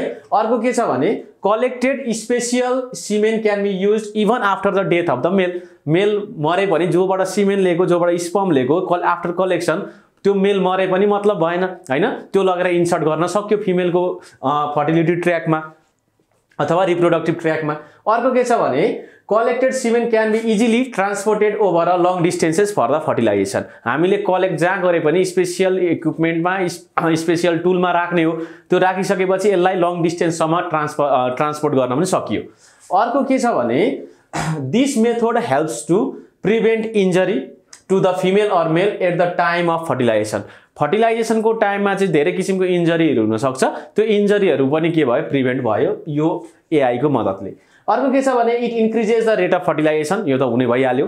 अर्को के छ भने it helps to keep a good record of repro reproduction यो गुड रेकर्ड अफ रिप्रोडक्सन भनेको चाहिँ के हो भन्दाखेरि तपाईँको यो एआईको मद्दत लिँदाखेरि चाहिँ एकदमै सेक्योर किसिमको के हुने भयो? रिप्रोडक्सन हुने भयो क्या? अनि रेट अफ रिप्रोडक्सन के हुने भयो? बढेर जाने भयो। That's why it helps to keep a good record of reproduction अब यसको डिसएडभान्टेजेसको कुरा गरौँ। डिसएडभान्टेजेस चाहिँ कस्तो किसिमको छ भन्दाखेरि it needs well trained manpower and special equipment अब एकदमै जान्ने मान्छेले मात्रै यो काम गर्न सक्ने भयो है? अनि इक्विपमेन्टहरू पनि हाइली एडभान्स चाहिने भयो। अर्को के छ भने it requires more time than the natural breeding natural breeding गर्दा गर्नुभन्दा पनि यसको लागि चाहिँ अलिकति धेरै समय लाग्ने भयो। If equipment is not handle properly हामीले इक्विपमेन्टलाई चाहिँ प्रोपरली ह्यान्डल गरिएन भने मेनी इन्जरी र इन्फेक्सनको सम्भावना रहन्छ। यो हाम्रो डिसएडभान्टेजेस अफ एआई अब अर्को हाम्रो इम्पोर्टेन्ट टपिक अफ डिस्कसन छ इन भिट्रो फर्टिलाइजेसन जसलाई हामी आइबिएफ पनि भन्छौँ। यो इन भिट्रो फर्टिलाइजेसनमा चाहिँ के हुन्छ भने अब जुन जुन कपल्सहरू है यो भनेको ह्युमनमा हुने हो जुन जुन कपल्सहरूलाई चाहिँ बच्चा जन्माउनलाई गाह्रो भइरहेको छ है जस जो चाहिँ फर्टाइल छैनन् त्यसलाई चाहिँ एउटा टेक्निकल्ली पोसिबल बनाएको छ है। यो प्रविधिको नाम हो इन भिट्रो फर्टिलाइजेसन यसमा सुरुमा के गरिन्छ भने मेलबाट है मेलबाट तपाईँको स्पम कलेक्ट गरिन्छ। स्पम पनि कस्तो भने एकदमै राम्रो ब्रिड भएको भनेको स्पम भनेको क्वालिटीको स्पमलाई कलेक्ट गरिन्छ। क्वालिटीको स्पमलाई कलेक्ट गरिसकेपछि अब अर्को प्रोसेसमा के गरिन्छ भन्दाखेरि फिमेलको ओभरी हुन्छ नि जुनमा। ओभरीमा चाहिँ हामी हर्मोन थेरापी गर्छौँ। अब हर्मोन थेरापी गरिसकेपछि फिमेलको ओभरीबाट एगलाई निकालिन्छ। एगलाई निकालेर बाहिर ग्लास ट्युबमा राखिन्छ। अब अघि कलेक्ट गरेको स्पम र अहिले कलेक्ट गरेको एगलाई फर्टिलाइज गरिन्छ इन अ ग्लास ट्युब है? इन अ ग्लास ट्युब त्यसलाई फर्टिलाइज गरिन्छ। फर्टिलाइज गरिसकेपछि के हुन्छ भने इम्ब्रियो फर्म हुन्छ। इम्ब्रियो फर्म भइसकेपछि फेरि हामी के गर्छौँ भने फिमेलको युटेरसमा लगेर त्यसलाई इम्प्लान्ट गरिदिन्छौँ है त? अब यसरी त्यो इम्ब्रियोलाई लगेर फिमेलको युटेरसमा इम्प्लान्ट गरिदिइसकेपछि के हुन्छ भने त्यो इम्ब्रियो डेभलप भएर इट फर्म्स अ बेबी। अब बेबी फर्म हुन्छ अनि के हुन्छ? फिमेल प्रेग्नेन्ट हुन्छ है त? यसरी फिमेललाई यसरी प्रेग्नेन्सी गराइन्छ अनि बच्चा जन्मा जन्माइन्छ using in vitro fertilization technique अब यो टेक्निकको पनि के एडभान्टेजेसहरू छ डिसएडभान्टेजेसहरू छ? के के रहेछ एडभान्टेजेस के के रहेछ डिसएडभान्टेजेसहरू हामी थोरली डिस्कस गर्छौँ। अब एडभान्टेजेस अफ आइभिएफको कुरा गर्दा IVF makes it possible for the couple who are unable to bear a baby to have a baby जसको बच्चा नहुने सम्भावना छ नेचुरल्ली तिनीहरूलाई चाहिँ आइभिएफ गरेर बेबी प्रड्युस गर्न सकिन्छ। अब अर्को के छ भने IVF helps to bear a baby using couples own egg and sperm है? स्पम कलेक्ट गरेर अनि एग कलेक्ट गरेर आफ्नै कपालको के गर्न सकिन्छ? आइबिएफको मद्दतद्वारा बेबी प्रड्युस गर्न सकिन्छ। अब अर्को फ्यासिलि फ्यासिलिटी के पनि छ भने हामी डोनेटेड एग र डोनेटेड स्पमबाट पनि आइभिएफको मद्दतबाट बच्चा जन्माउन सक्छौँ है त? त्यसलाई यसरी डोनेट गरेर जन्मिएको बच्चा एडप्ट गर्न पनि सकियो। अब अर्को के छ भने it helps to eradicate genetic and chro chromosomal disorders chromosomal disorders छ भने पनि त्यसलाई हटाउन पनि सक्यो। It increases the possibility of the birth of a healthy baby अब हेल्दी बेबी जन्मिने प्रोबेबिलिटी चाहिँ के हुन्छ? धेर हुन्छ आइबिएफमा अब डिसएडभान्टेजेसको कुरा गरौँ। डिसएडभान्टेजेसमा चाहिँ के छ भन्दाखेरि there is no guarantee of the success of the IVF in all cases सबै केसमा आइबिएफ सक्सेस हुन्छ भन्ने हुँदैन। अर्को के छ भने sometimes it shows the problem of multi fertilisation multi fertilisation पनि हुनसक्छ है त? जुम्ल्या तिम्ल्या पनि जन्मिन सक्छ हुनसक्छ है त? इम्ब्रियोहरू धेरै फर्म हुन पनि सक्छ। अर्को के छ भने IVF is not affordable for most of the couples as it is a very expensive technology यो एकदमै धेरै महँगो हुन्छ सो सबैले एफोर्ड गर्न सक्छन् भन्ने हुँदैन। अर्को के छ भने in many cases the problem of early birth and under weight birth is also found के चाँडै जन्मिने अनि अन्डरवेट जर्मिनेस प्रोबेबिलिटी पनि छ यसमा। यो पनि एउटा समस्या। अब हाम्रो टपिक अफ डिस्कसन छ sex determination in human beings human बिङ्समा चाहिँ नानी जन्मिँदाखेरि केटा बन्ने अथवा केटी बन्ने कसरी डिटरमाइन हुन्छ भन्ने कुरा हामी डिस्कस गर्छौँ। अब हाम्रो कहाँ कुरा के छ भन्दाखेरि ह्युमनमा जम्मा twenty three pairs of chromosome हुन्छ सेलभित्र न्यु न्युक्लियस न्युक्लियसभित्र क्रोमोजोम हुन्छ। त्यो क्रोमोजोममा चाहिँ के छ भन्दाखेरि हाम्रो ट्वेन्टी थ्री पेयर्स हुन्छ। क्रोमोजोम्सहरू है त? Sorry न्युक्लियसभित्र twenty three pairs of chromosome हुन्छ जसमध्ये बाइस पेयर ट्वेन्टी टू पेयर्स भनेको अटोजोम्स हुन्छ। त्यसलाई हामी के पनि भन्छौँ भने सोमाटिक क्रोमाजो क्रोमोजोम्स पनि भन्छौँ अनि एउट वान पेयर दुईवटा दुईवटा चाहिँ के हुन्छ भन्दाखेरि सेक्स क्रोमोजोम हुन्छ है त? सेक्स क्रोमोजोम हुन्छ जसले चाहिँ के डिटरमाइन गरिदिन्छ भने sex of of an individual कुनै एउटा इन्डिभिजुअल मेल भन्ने अथवा फिमेल भन्ने कुरा चाहिँ त्यो सेक्स क्रोमोजोमले मात्रै डिटरमाइन गर्छ। हाम्रो सोमाटिक क्रोमोजोमले चाहिँ के गर्छ भन्दाखेरि growth and development of the body. हाम्रो बडीको ग्रोथ एन्ड डेभलपमेन्टमा हेल्प गर्छ। ट्वेन्टी टू पेयर्सले वान पेयरले के गर्छ भने सेक्स डिटर्मिनेसन गर्छ। अब के छ भन्दाखेरि सेक्स क्रोमोजोमलाई हामी नर्मल्ली है के गर्छौँ भने एक्स एन्ड वाइले डिनोट गर्छौँ। अनि हाम्रो फिमेलमा के हुन्छ? फिमेल भनेको केटी मान्छेमा एक्स एक्स क्रोमोजोम हुन्छ एउटा पेयर हुन्छ नि जुन सेक्स क्रोमोजोम त्यसमा चाहिँ एउटै खालको क्रोमोजोम हुन्छ द्याट इज एक्स एक्स मेलमा चाहिँ के हुन्छ भने दुई खालको क्रोमोजोम हुन्छ एउटा एक्स एउटा वाइ अब ड्युरिङ फर्टिलाइजेसन के हुन्छ भने हाम्रो मेलको र फिमेलको है त? के हुन्छ भने हाम्रो रिप्रोडक्टिभ ओर्ग्यानमा सेलको मियोसिस सेल डिभिजन हुन्छ। मियोसिस सेल डिभिजन भएपछि इन्डिभिजुअल इन्डिभिजुअल गरेर हाम्रो के छुटिन्छ? क्रोमोजोम्सहरू छुटिन्छ अनि फर्टिलाइजेसनको क्रममा त्यो फिमेलको क्रोमोजोम र मेलको क्रोमोजोम कसरी मिक्सअप हुँदाखेरि मेल र फिमेल जन्मिन्छ भन्ने कुरा हाम्रो टपिक अफ डिस्कसन हो। हामी के गर्छौँ भन्दाखेरि मेल र फिमेल फर्टिलाइजेसनको क्रममा के हुन्छ भन्दाखेरि मेलको जुन छ क्रोमोजोमको सङ्ख्या के हुन्छ भने फोर्टी फोरवटा अटोजोम्स हुन्छ ट्वेन्टी टू पेयर्स भनेको कतिवटा? Forty four. And one pair of sex chromosome भनेको के हो? एक्सवाई हो। यो भनेको मेलमा हुन्छ। फिमेलमा के हुन्छ? फोर्टी फोरवटा अटोजोम्स हुन्छ। तर हाम्रो सेक्स क्रोमोजोम के हुन्छ? एउटै टाइपको हुन्छ द्याट इज एक्स एक्स हुन्छ। अब के छ भन्दाखेरि मियोसिस सेल डिभिजन है? ग्यामेट्स बाई मियोसिस भनेको ग्यामेट बन्छ। ग्यामेट कस्तो किसिमको बन्छ भन्दाखेरि स्पम हो।